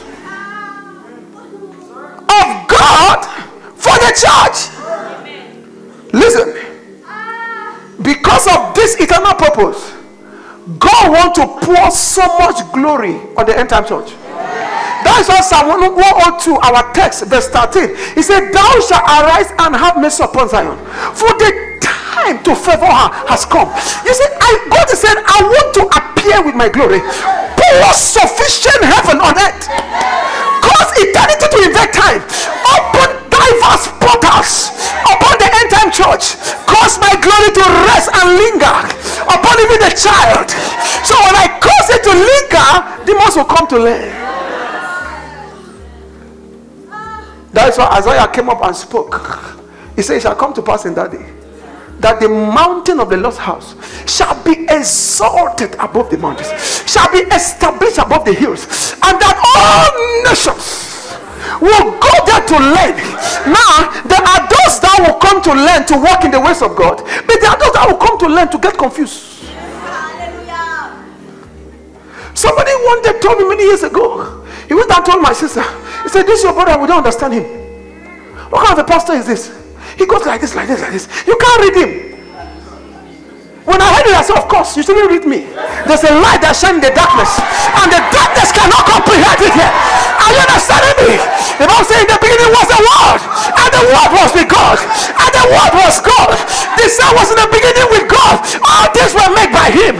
Without Him, nothing was made that was made. In Him is light, and the light is the life of men, and the light shines into the darkness and the darkness cannot comprehend it. Jesus now said those who are born of the spirit you can't read them. They are like the wind. When you think they are coming that's when they are going. When you think they are going that's when they are coming. That is the generation we belong to. Nobody can read us. Nobody can understand us. Are you understanding me? If your life is a program you have been deprogrammed. Your life had to be unreadable. When the devil put you in their machines, and when they type your name, the machine will say error, error, error.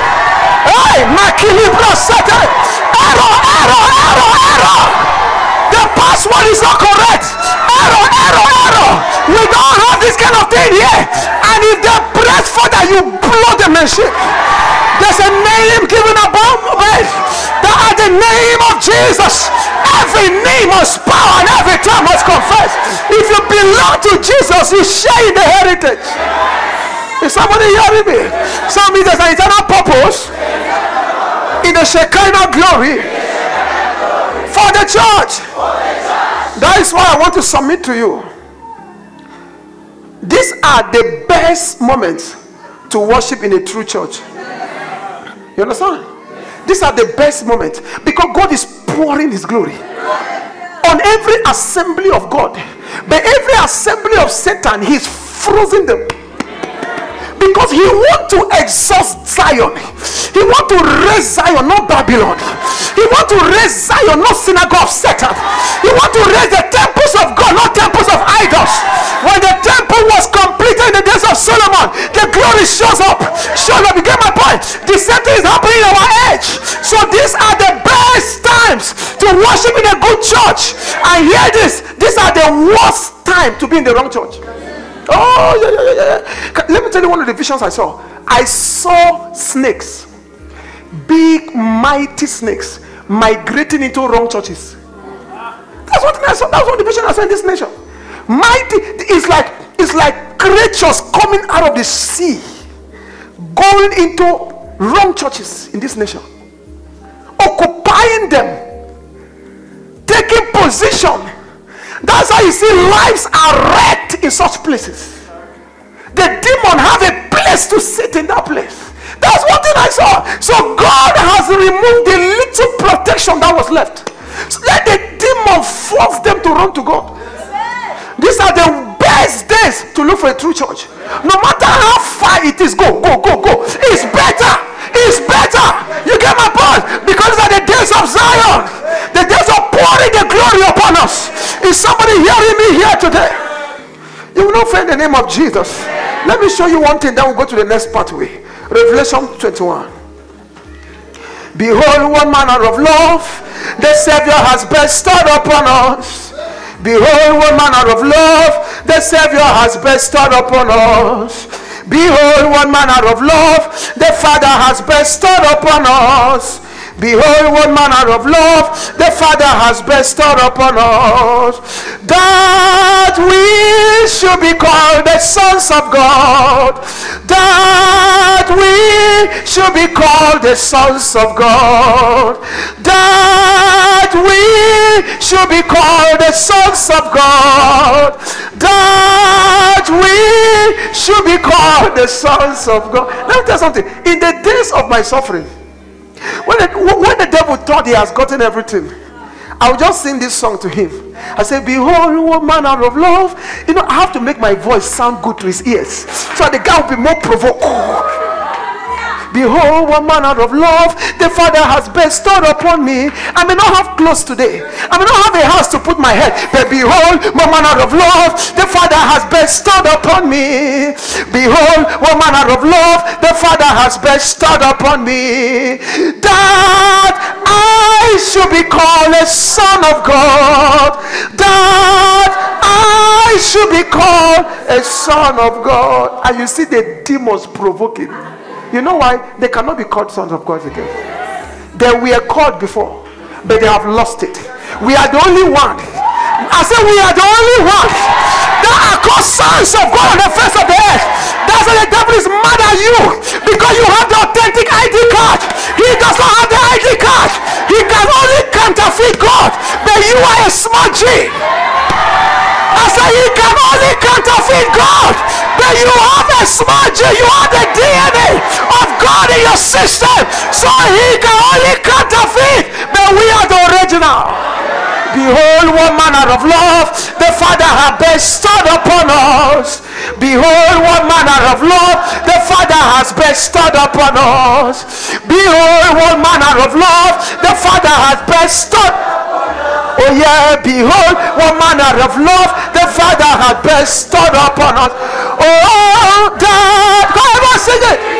Should be called the sons of God. Oh, that we should be called the sons of God. Oh, We should be called the sons of God. That we should be called the sons of God. When you go home, sing that song with pride. Sing it in your house. Sing it in your office. Sing it in your place of work. Only you can be a son of God. No demon can be a son of God. And here is the privilege we have. God have delegated authority to us to trample upon serpents and scorpions and over every power of the enemy. Nothing shall by enemies hurt us. If you hear me say, yeah. So look at what the Bible says about God's eternal purpose for us. I told you these are the finest moment to worship in a true church. This extremely prophetic. These are the finest moments. So be finest. Look at Revelation chapter 21. He said, Now I saw a new heaven and a new earth. These are new realms of glory that will kiss the true church. Do you understand me? There will be a new heaven and a new earth in future. He said, For the first heaven and the first earth has passed away. Also, there was no more sea. What's this? I wish, you know, time is too small to capture eternity. Listen, listen, listen. You see, there is going to be a new heaven and a new earth. We all know that. We have learned that during our school of Bible prophecy. But I told you one of these days that the ages to come are casting a shadow in our age. Oh, God help us. They are casting a shadow in our age. One of the shadow they are casting is this. In every true church, every church rooted in the will of God, God brings a dimension of Shekinah a church fulfilling the eternal purpose of the church. He brings a dimension of Shekinah in that place that as you enter like this, all things pass away. Is somebody hearing what I just said? You say, I'm not trying to excite you. I am telling you re- spiritual realities that as you enter in that church, all things pass away. You see, somebody have asked me, Apostle, why don't you break curses? Why don't you carry their evil foundation? Why can't you uproot? I say, listen, where we are, whatever happened in our father's house do not happen in our own house. Because as you step in all this the first heaven will pass away. The first earth will pass away. Is somebody hearing me? It's like when you enter a house and close the door. Let me share with you a testimony. A woman was being chased by bees. Bees physically. But only her was in it bees were pursuing her. She will run into some churches, the bees will follow her. Run into some, they will follow her. While she's sitting in the church, the bees are attacking her. These are spiritual things, not physical. She, be, she, she can't say, she will run. So she went into this church. She ran that day like a mad person. The, the church, they had a building, they were not even having service. The, the pastor was just there studying his Bible. She ran into the church compound. When she ran, she like, and so that the bees never followed her. They were outside waiting. She now went to the pastor. I said, Pray for me. He said, What? He said, Bees are pursuing. He said, What are they? She took him outside. He said, They are outside. He said, Where? He said, Look at them. He said, I can't see. He said, Pastor, you can't see, but there are bees there.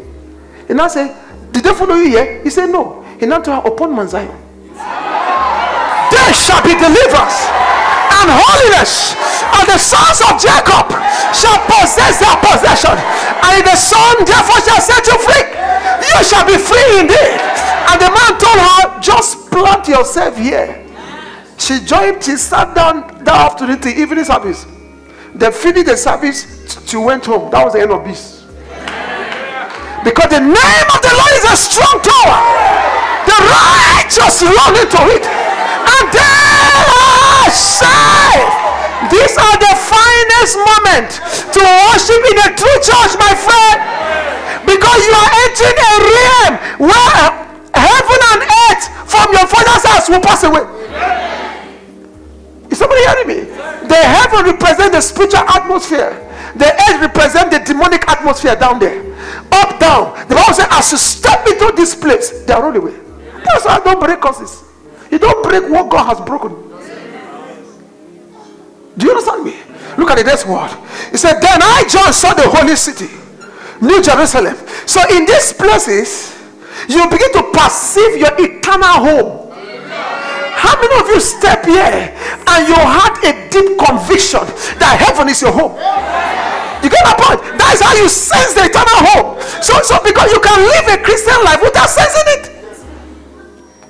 Now, he now went on to say, New Jerusalem coming down out of heaven from God, prepared as a bride, adorned for her husband. We all know this is the church. Look at the next thing. And I heard a loud voice from heaven saying, Behold, the tabernacle or the dwelling place of God is with men. Hey, we are going to be carriers of God. That is how we don't carry olive oil. That's how we don't carry bottles of water. Because we carry God on our inside. We are the temple of the Holy Ghost. We are not temple of demons. We are not temple of sickness. He said the tabernacle of God is with men. So when you step into the true church of this end time, you become the house of God. Is somebody hearing me? Look at the next thing. He said, The tabernacle of God is with men, and he will dwell with them, and they shall be his people. God himself will be with them and be their God. That's why there's no evil altar again in your life. Because the real altar is the altar of God in heaven. You don't have any evil covenant again. Because there's a new covenant in Christ Jesus. Saved by the blood of Jesus. Is somebody hearing me here today? You may have lived blood and exchanged covenant with people. That was time of ignorance. But now you have stepped into the place of, of Zion. You have come to the place of cleansing. All those covenants they stand abolished. I said they stand abolished. Look at the next word. He said, and God. Not anointing oil. And God, not even the prophet. And God, that's how today God will be the one touching you. And God will wipe away every tear, not some tears. Every tear from their faces. There shall be no more death, no sorrow, no crying. There shall be no more pain. For the former days are passed away. Is a prophetic proclamation for someone here in the house. The former days are passed away. I said the former days are passed away. Before you hit December, you will have a powerful story to tell. Before you hit December, you have a powerful story to tell. The former days are passed away. No more sorrow. No more weeping. When we gather,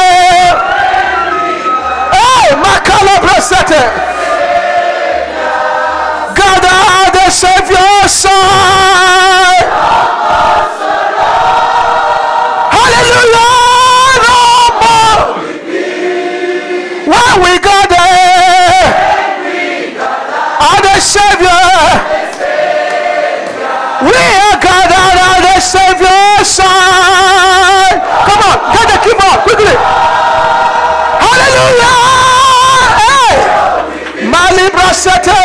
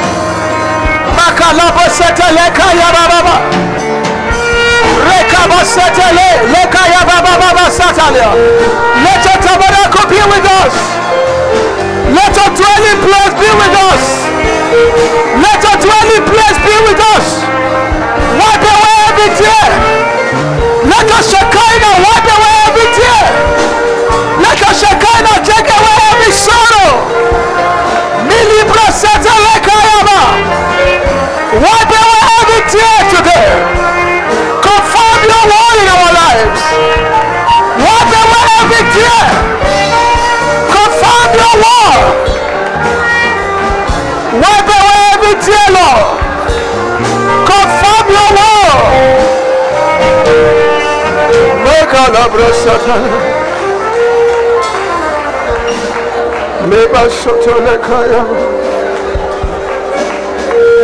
Rekalabra Sendele Mayama. Rekaba Setelekaya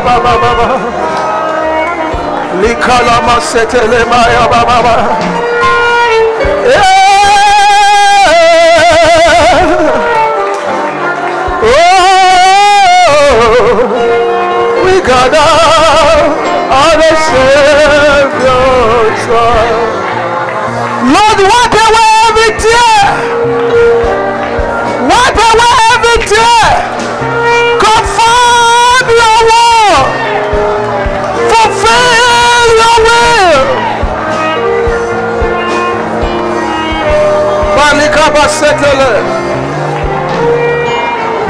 In Jesus' name we pray. Hallelujah. I may have your seat.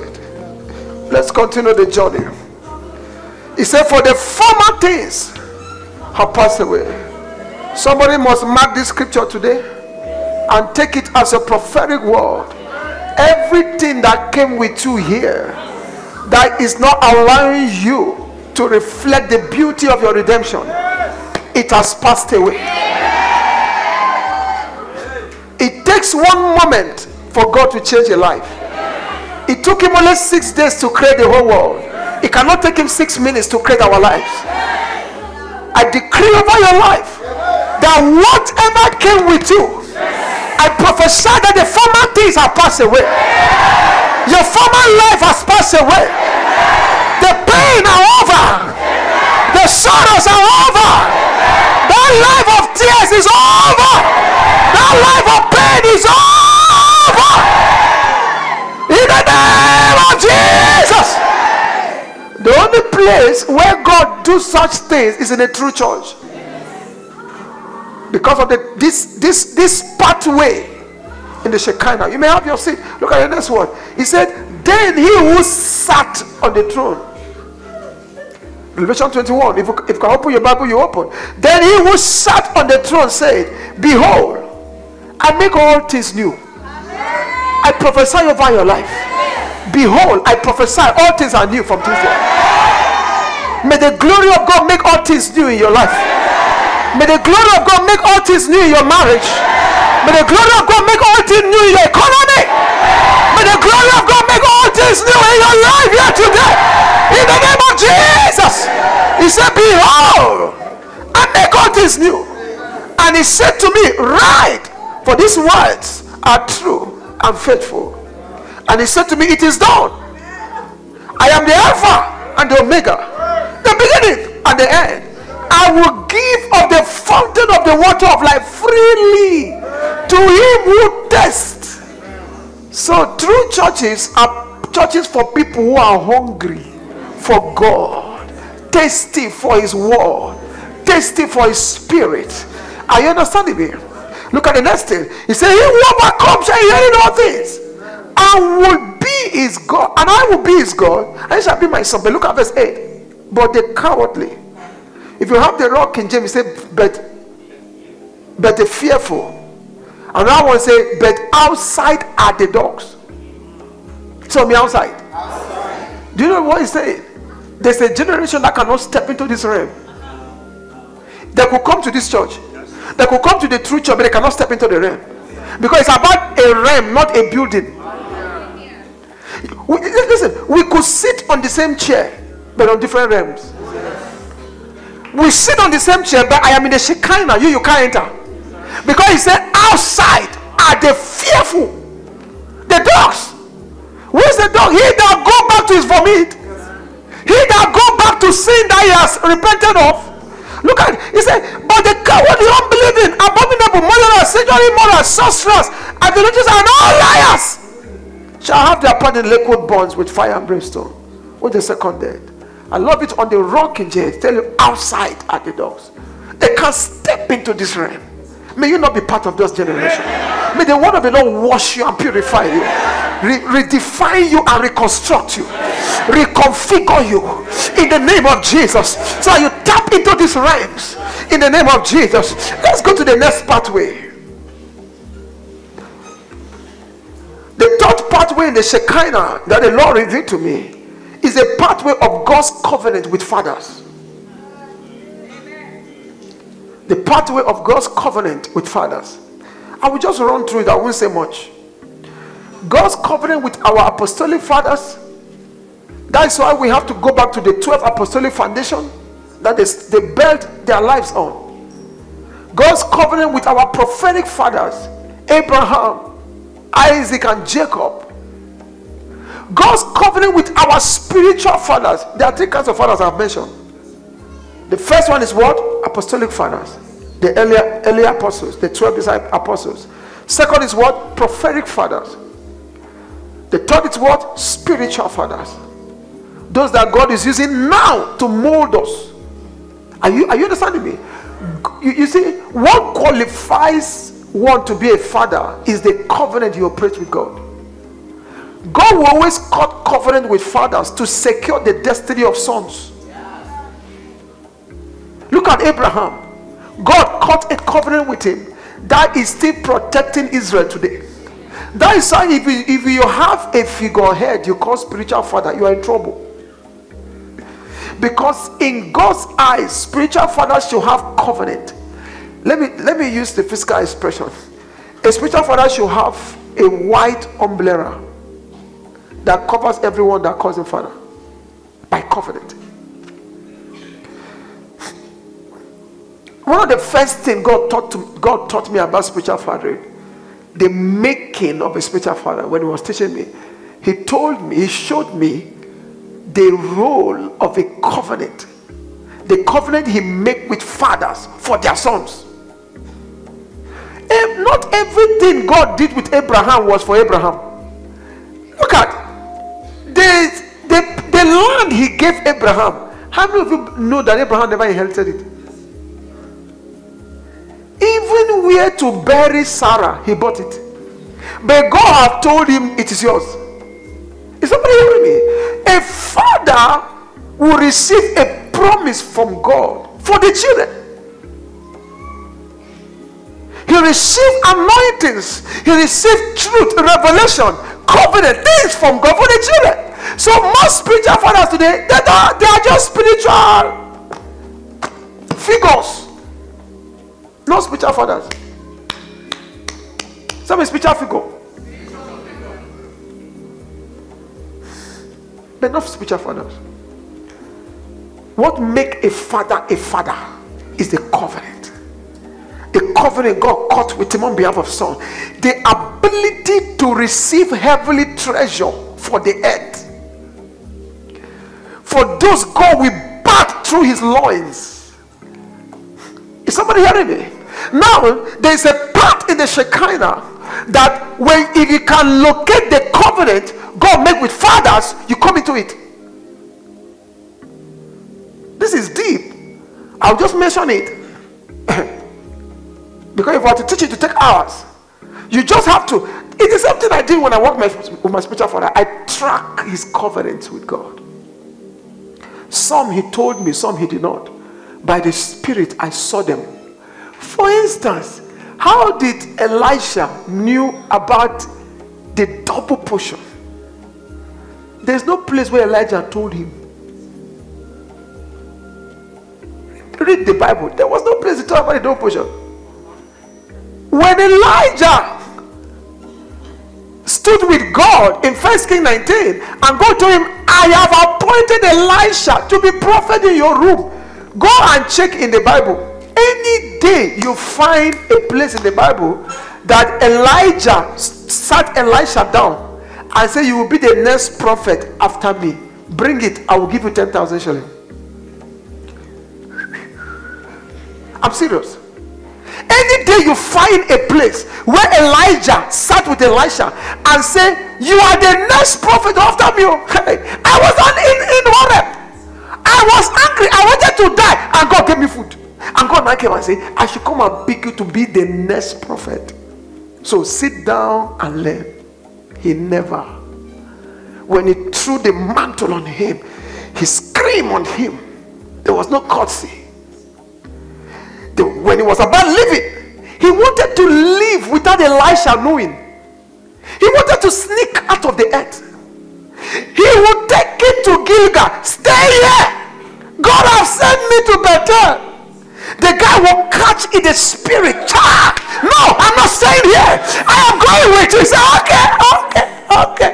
They go to Bethel. Stay here. God has sent me to Jericho. The guy will catch in the spirit. No, no, I'm not staying here.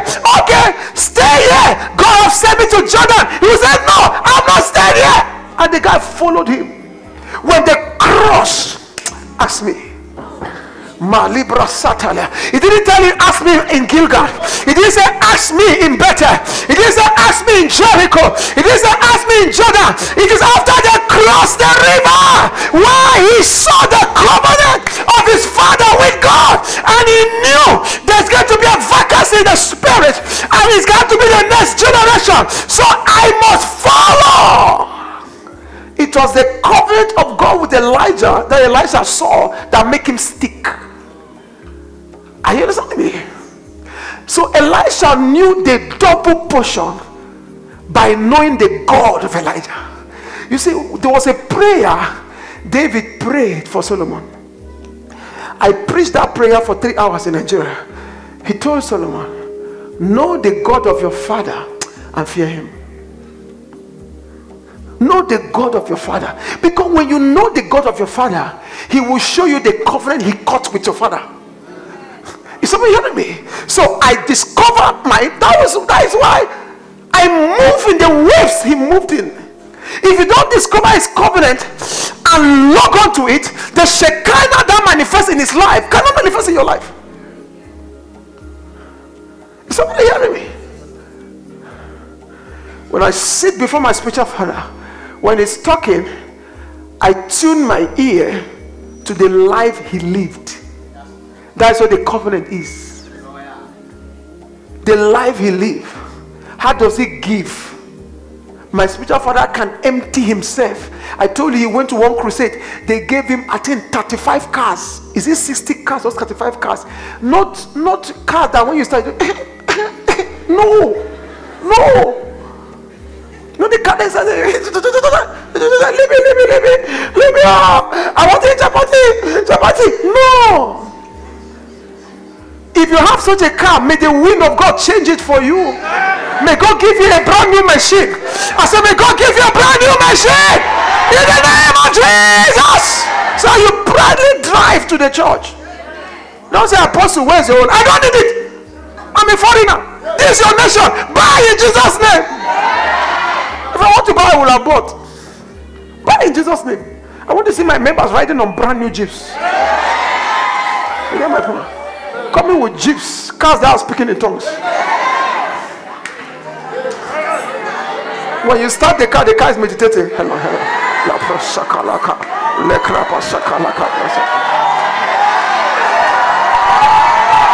Receive it in the name of Jesus.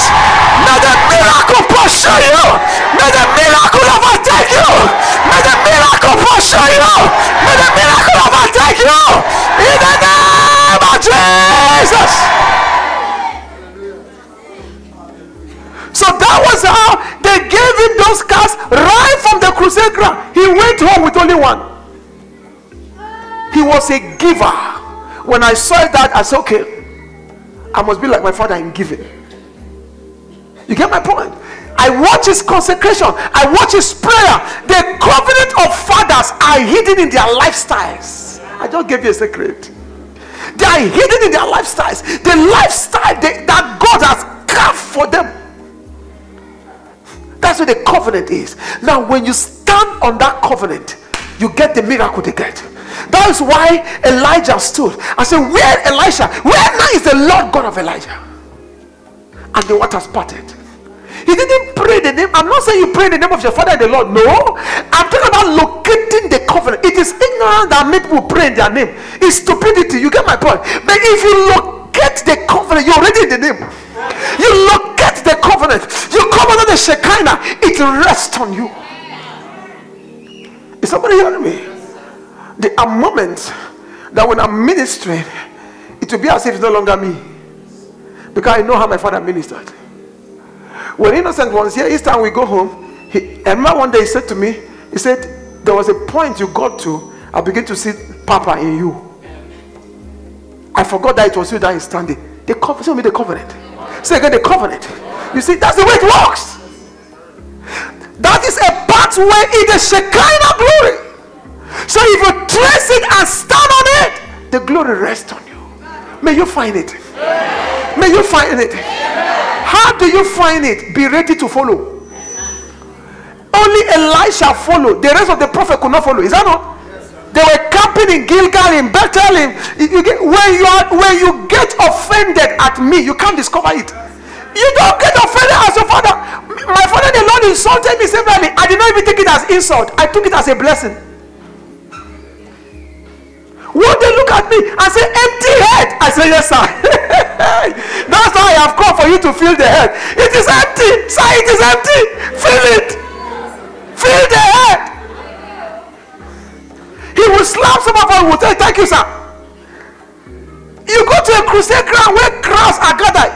You do something, you are an usher. He tells you, go carry that again. Maybe somebody fell under the anointing. You didn't carry the person the way you want, and the person fell on the ground. Bam! Say, come here, come here. Bam! Yeah, lie down there, lie down. The whole crusade will be watching you. You just lie down on the floor. Sometimes he will forget you and go. That was how we were trained. So that when people are found under the anointing, you hold them gently. Do, do you understand me? So when you get offended, you can't track the covenant. If the devil want to ruin you, he will make you to be offended at everything. So you cannot track the covenant. I don't want to go into our prophetic fathers. We will not close today. I don't want to go into our apostolic fathers. That one is a two months teaching. You get my point? Let me just dwell within and move to the next pathway in the glory. Let's go to the next pathway in the Shekinah. Number four is the pathway. I call it the defense of God's reputation. The defense of God's reputation. This number four pathway also make God to go crazy. Whenever God wants to defend his reputation, he deploys all the forces in his throne to the earth. God is in the business of protecting his name. Is somebody hearing me? Let me tell you, the judgment that is going to hit perverted pastors is because they have desecrated his name.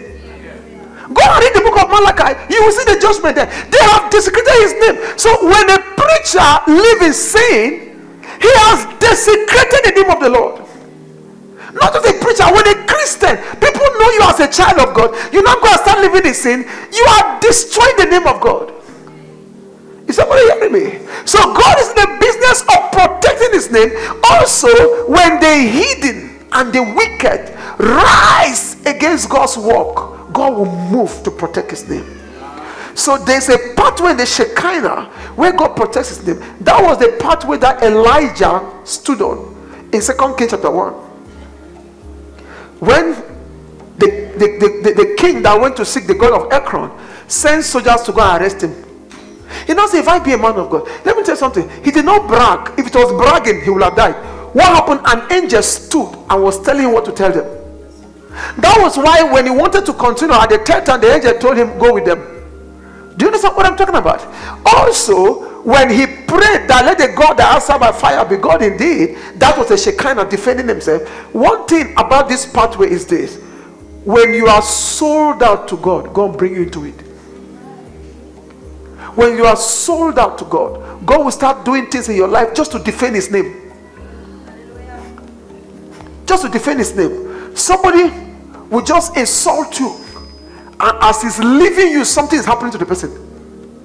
Somebody will just mock at your Christianity. As he's leaving you, something will just happen to the person. That, that's the way it works. And some of you, you are from villages that such things need to happen. Because they don't know God. That's why I told you on Wednesday that a time is going to come that I'm going to prophesy, plant a word here. That anybody who came here to attack us, as they go home, they won't get to their houses. A vehicle will, if they are driving their car, straight fire will catch on the car and consume them. So they will know the cry of the Spirit is not a church as usual. We are an army of the Lord, backed by the glory, shielded by His power. You cannot come here and insult us. The days are coming that we're going to plan that. Are you understanding me? And God will begin to do terrible things in righteousness to shake the heavens and the earth just to protect His name. Everything God did in the Bible, most of it is to protect His name. Are you understanding me? Let me show you something. Look at Exodus 22, 32, 23. Exodus 23. If God put his name in your life, his glory will start hovering around you to protect you. May God put his name in your life. What is the name of God? The presence. Christ in you. When he enters you, you carry his name. When Christ dwells in you by faith, you carry his name. You get my point? So you will start doing things to protect his name in your life. There were a people that slandered me from 1996, sorry, 1997 till 2003. It's like God allowed them to finish. When they finish, He began to reply. He replied until I have to pray, Father, please stop, stop, stop. When God wants to prove to you that you are His child, He becomes crazy. He will start beating whoever He will beat. Is somebody hearing me? When He said, Touch not my anointed, He said, if every child of God is anointed? There are four levels of the anointing. So even if you have the first level, you should not be touched. This aspect of the Shekinah, when you are sold out, God brings you there. Tell your neighbor, be sold out for Jesus. Say again, be sold out for Jesus. I decree that anyone the devil sent here again to come and cause problem in this house, they will not get back to their houses. They will miss their way in the name of Jesus. They will be scattered in different directions. If they are driving on their vehicles, it will catch flames in the name of Jesus. If they are walking on foot, God will send a vehicle to knock them down in the name of Jesus. True, terrible things in righteousness. May this house be protected from evil. Anyone that move against us again, trying to tarnish our image or say things that we never did, may the glory of God appear. May the Shekinah glory appear. In the name of Jesus. And whoever will run after you for evil, God will send nails, sharp nails to penetrate into their cars, to penetrate into their body, to penetrate into their life. Whoever shoot a gun at you, the bullet will enter their belly. As they press the trigger, the bullet will enter their own belly. The angel of the Lord will push the bullet back to their body. In the name of Jesus, whoever will shoot an arrow at you, as they pull the bow, the angel of the Lord will paralyze their hands. The arrow will go back to their hearts. In the name of Jesus. So be Lord Jesus. Defend your great name. There's a dimension the Shekinah that protect the name. There's a name of the Lord in the crowd, the Spirit. It will be protected. The gates of hell shall not prevail against it. Anyone who slander us, whatever they say, they will become. Whatever they say about us, they will become whatever they have said. In the name of Jesus, any preacher that stand in this church and speak against us shall lose their members to this church. Then if they mention my name, mention anything hook or crook about the cry of the spirit, the wind of the Lord will blow in their midst and bring the members to this place. In the name of Jesus, so be Lord Jesus, let your glory protect your name. There's a pathway that defend the name of the Lord. Look at how God revealed it. Exodus 23, verse 20. He said, Behold, I send an angel before you to keep you in the way and to bring you to the place which I have prepared. Beware of him and obey his voice. Do not provoke him, for he will not pardon your transgression. Why? Look at the next statement. Why? Look at the next statement. Why? For my name. Do you see it?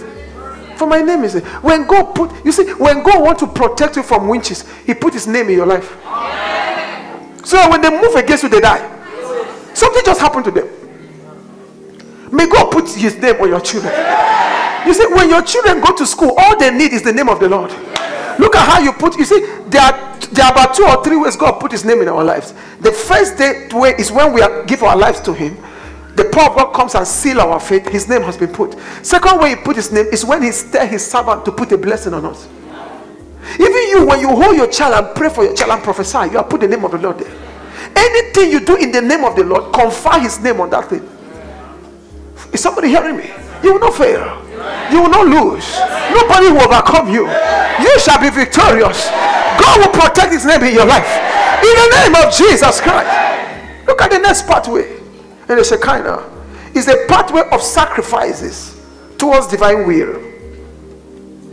When we sacrifice towards divine will, we stumble into this pathway. Look at what he said in Psalm 50, verse 5. Sacrifices towards divine will. Psalm 50, verse, verse 5. Look at what he says. He says, Gather my saints together to me. Those who have made a covenant with me by sacrifice. Look at verse 6. Let the heavens do what? Declares righteousness. For God Himself is just Selah.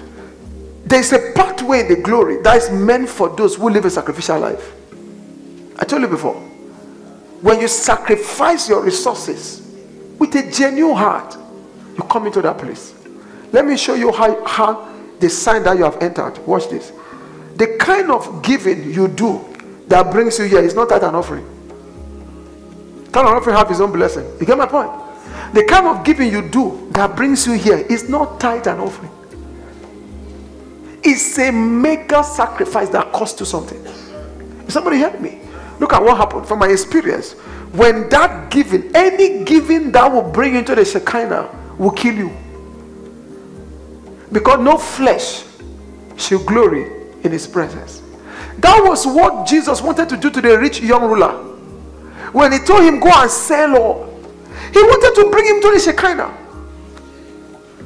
The guy resisted. It is easy to give tithe and offering, but difficult to do a giving that will bring it into the glory.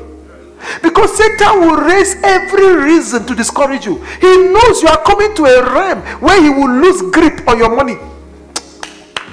There's a generation that the devil does not have grip over their money. He said, This is so when you do that kind of a giving, God will leave you for a season to go through pain. That is your dying season.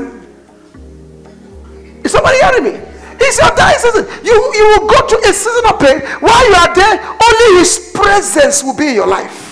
He speaks to you, He communicates to you, His glory just around you, but He allow you to go through death. You look here, no money, look here, no money, look here. If you are immature, you will start regretting. That's why when I say, no, no, this person is not mature for the glory. He will keep you, bless you, and keep you there until you become mature. Let me tell you something. Givings that will bring us into the glory will strip us.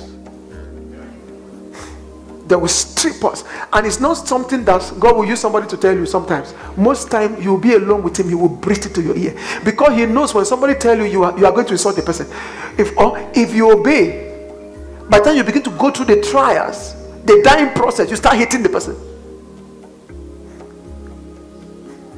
There, do you know what I'm saying? I've been there. What kept me was my maturity, my friend. And when I did that first, I kept doing it. Because when you become used to it, it becomes a lifestyle. Becomes a lifestyle. Now, this kind of giving, you will not be told to bring it so that you break costs in your father's house. That is a game. So me game. Yeah. That is called in Nigeria we call it magu magu. Say magu magu. that is game. They are playing game with you. Oh, oh, let me give this money so that I get married. Who tell me who? This one. God will tell you, bring it. No promise attached. Because he it's a giving to kill you. No promise attached. He will say, My son, get up. I remember one time, the first time it happened, I received a salary in the church I was working. I received the money on Sunday early in the morning. It was small, but it was my last card on it. I was I started planning what I would do with it. Give this to my mother. So during the time of prayer, I heard the Holy Spirit say to me, "Drop everything on the offering box." I did like, eh? Do you think it was a man that told me I would listen to him? I say, "Get it behind me, Satan." But this time around, you cannot tell God, "Get it behind me," because it's in you. It cannot go behind. It cannot go. He's inside. So when I did that, that's okay. I didn't know when tears began to drop from my eyes. And I dropped the money and I left. My mom was expecting money in the house because I told her it would be paid today. When I went back home, where is the money? Um, Uh, uh. It's okay, I understand, I understand. Don't worry, I know. I said, Thank you, ma. And I left. Thank God she understood. You get my point? Then that was the first time. After that, that church drove me away because of I, I've told the story. And I suffered for three, four years. Let me give you a little one of the things that happened. Immediately I left that place. One man that was a Christian, but he has backslided. He became my friend. so on Sunday morning, instead of us to look for a church to attend, look at what we do. We'll be constructing his house because he was building his house. I remember one incident that I entered inside the hole and the Holy Spirit spoke to me. What are you doing here? we were building a soakaway, what you call what you call it here in Kenya? Where all the excreta enters through water system, the pit, the safety sewage. How do you call it? Septic tank. That's what we're building. So he was inside, he, he did civil engineering. So he was inside. Me, I will bring the blocks out, we'll take it in, we'll be talking, take it in. When I enter inside, the Lord said to me, What are you doing here? I said. That was how far I went. Do you know why I was doing it? So that at least I, I could eat once a day. I was there. But in four years, I counted my first million. The money came in a period of six months. The way it assembled, I can't I can't explain. When I the day I went to the bank, because of the way I look, the cashier asked me, Is it your money? I said, check the name. Yes, the name is yours, the picture is yours, but your face, is this your money? I tell the person, please don't provoke me.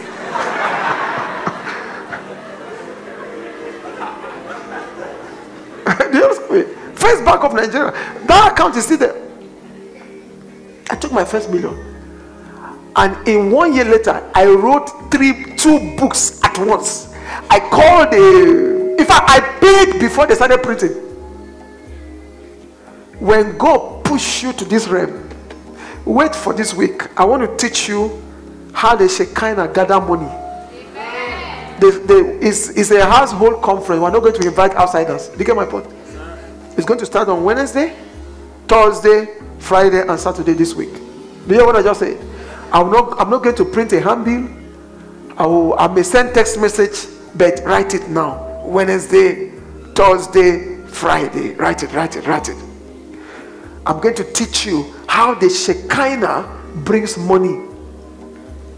How many of you are interested? how the Shekinah gathers money to us. I will teach you that. Wednesday, Thursday, Friday. So it's for in-house. It's going to it's going to be our 2018 Kingdom Wealth Apostolic School.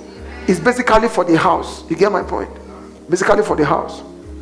Because I don't want to sell those things outside. It's for us alone. Now listen. If God want to push you to this realm, He will start teaching you how to live a sacrificial life. If in the area of finance, it will go the way I've mentioned. In the area of consecration, he will bring Romans to you. Romans chapter 12. How many of you knows it? What did he say? Offer yourself as what? As a living sacrifice. Holy and acceptable to who? To God. You know, say that is your word. Reasonable. That means that is what is expected of you. There's something called atonement. God will start teaching you the mystery of atonement. Leading you into fasting, prayer, fasting, prayer. He's bringing you to that realm, my friend. Is somebody hearing me? So there's many other things he will do, but let me go to number six because of our time. The sixth pathway in the Shekinah, I won't spend so much time in this, is a pathway of thanksgiving, praise, and worship. Thanksgiving, praise, and worship. That's the pathway in the Shekinah. If you read the Bible, Wherever they praise, worship, and thank God, you see the fire fall. You see, when the temple of Solomon was dedicated, the fire fell. They sang. Paul and Silas, they praise. They sang hymn, and the Shekinah came and opened the prison doors. Do you, do you understand me? Second Chronicles 20. Jehoshaphat, what did he do? He sang. What happened? Shekinah came and gave them prosperity. I told you the other day, your skill cannot assemble the Shekinah, my friend. It's your you being chosen, called and chosen. We need gospel artists that can summon the Shekinah for us. Do you get what I'm talking about? That even if you when you put their little cassette, you don't feel anointing, you feel the glory. Because if you feel anointing, it could be of the devil. Do you know how I know? I visited one family in 19, sorry, in 2001. An unbeliever believing family. Their uncle knows me, so he sent me there. I was looking for a place where I can pray during Christmas. So they had a big house. He said I should go there because he thought when I go there, I can bring God's presence to the house and all of that stuff. So I went. So I sat down in this in their sitting room. We were just talking. They knew they were knowing me for the first time, so you don't enter people's house like that. So we're talking. And since it's an unbeliever home, so they put in Michael Jackson film to entertain me. And the man would do Me, I've not watched it before. I used to hear, I've not watched. So, but I was saying, my heart, can't people, oh, so this is what they want to entertain me. What? So, but I was, you know, you say with your mind, but you laugh with your teeth. Lord, how do I start to talk this way about God now? now, one thing I saw that amazed me was this. The man sank. People fell under the anointing. How many of you have watched it before? Good. They were screaming, ah, fainting, collapsing. That is anointing. So the fact that you sing and I feel the anointing doesn't mean you are called. As you feel the glory, there is something the devil cannot summon. It is called the glory of God. Is somebody hearing me here today? So, through thanksgiving, praise, and worship, the glory can be summoned. Are you understanding me? Finally, I am rushing because of time.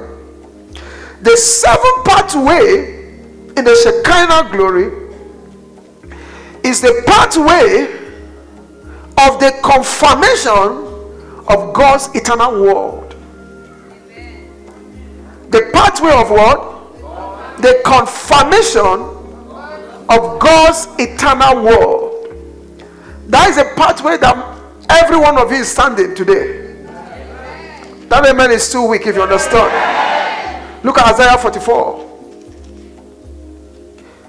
Isaiah 44, verse 24. Thus says the Lord, your Redeemer, and He who formed you from the womb. How many of you were formed by God? The only person that will not be touched today is somebody who is not formed by God. All of us were formed in our mother's womb by God. Look at what he does say. I am the Lord who makes all things who stretches out the heavens all alone, who spread abroad the earth by myself. You see, when God introduced himself like this, it means it's about telling you to step aside. Is somebody hearing me? Look at the next thing. Who frustrate the signs of the babblers and drive diviners mad? Who turns wise men backward and makes their knowledge foolishness. Look at verse 26. Everyone read it. Will confirm. That is too weak. That is too weak. Read it, read it. Will confirm the word of his servant and perform the counsel of his messengers. Who said to Jerusalem, You shall be, uh-huh, and to the city of Judah, you shall be built. And I will raise up what? Do you see that glory? that there is a part in God that confirms His word. Do you know that when the word of the Lord is not confirmed, people will not know that it's the Lord that has spoken? Are you understanding me? Look at another scripture I want to show you Isaiah 55.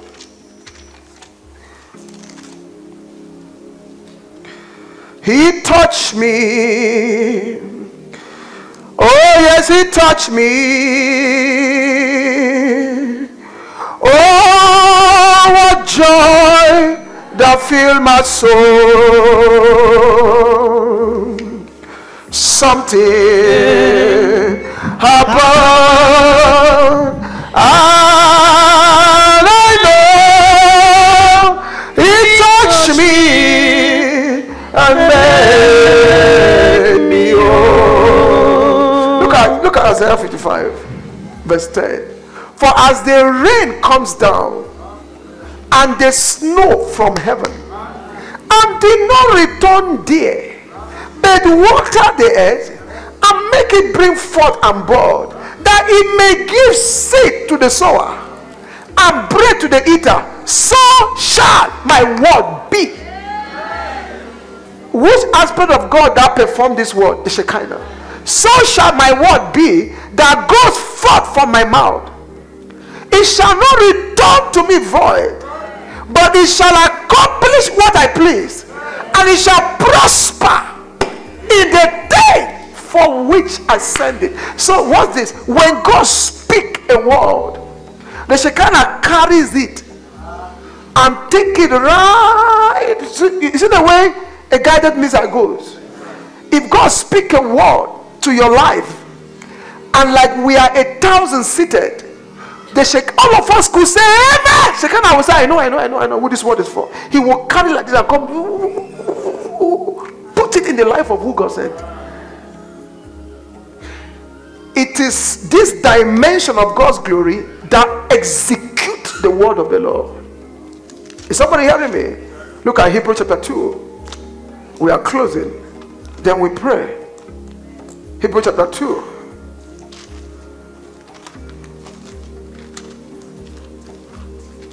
Your life will not remain the same. Hebrew chapter 2, verse, verse 1. Therefore, we must give the more earnest heed to the things we've heard, lest we drift away. Why? Those things we heard are the things that the Shekinah want to accomplish. Somebody hearing me? For if the word spoken through angels prove steadfast, and every transgression and disobedience receive a just reward, how shall we escape if we neglect such great a salvation, which at the first began to be spoken by the Lord, and was confirmed to us by those who heard him? Look at verse 4. God also bearing witness. Do you see it?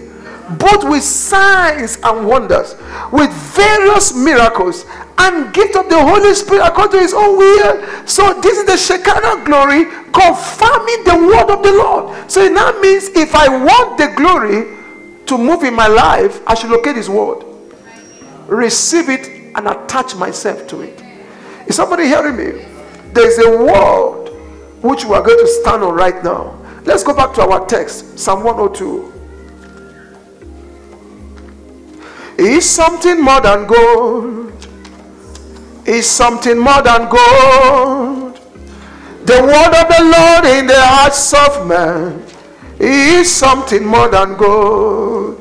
The Bible says God exalt his word above his name. Do you understand me? That is how important his word is. Look at Psalm 102. Psalm 102 where we started. We stop at verse 17. Is that not? Verse 16. For he shall, for the Lord shall build up Zion, he shall appear in his glory. He shall regard the prayer of the destitute and shall not despise the prayer. That means when I am praying under the glory, God begin to check my heart to see which part to place me. Is somebody hearing me? Look at the next word. This will be written of the generation to come, that the people yet to be created may praise the Lord, and we are that people. Is that not? Now, let me switch into the prophetic aspect of this scripture. The Bible says, in our time, God will build his church with his glory, and while he's doing it, he will regard the prayer of the destitute. There are seven kinds of prayer God hears under the glory. I can't talk about them today. You get my point? Look at verse 19.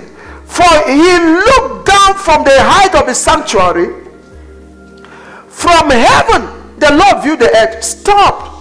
What does the Bible mean by the height of his sanctuary? In our mind, we will think that it is heaven, but that height is his glory. When Israel were crossing the Red Sea, the Bible says that God looked upon the Egyptian from the pillar of cloud. May God look upon our enemies today from the pillar of his glory here in our midst. In the name of Jesus. Look at verse 20. What will you look to do? To hear the groaning of the prisoner, to release those appointed to death, so that they can declare the name of the Lord in Zion and his praise in Jerusalem. When would that happen? Look at verse 22. When the people are gathered together, have we gathered today? Have we gathered together today? Now rise on your feet. This is the time. Is somebody hearing me? This is the time that it will happen. Are you understanding me? Now, remember, we say the Shekinah confirm his word. And this is what that when he build up Zion, he shall appear in his glory. He will regard our prayer. He will not turn it down. Look at number one, he will hear the prayer of the destitute. He will have no one to help. Number two, he will hear our groaning. Number three, he will destroy every appointment with death. Is somebody hearing me? Let's burn our feet and pray.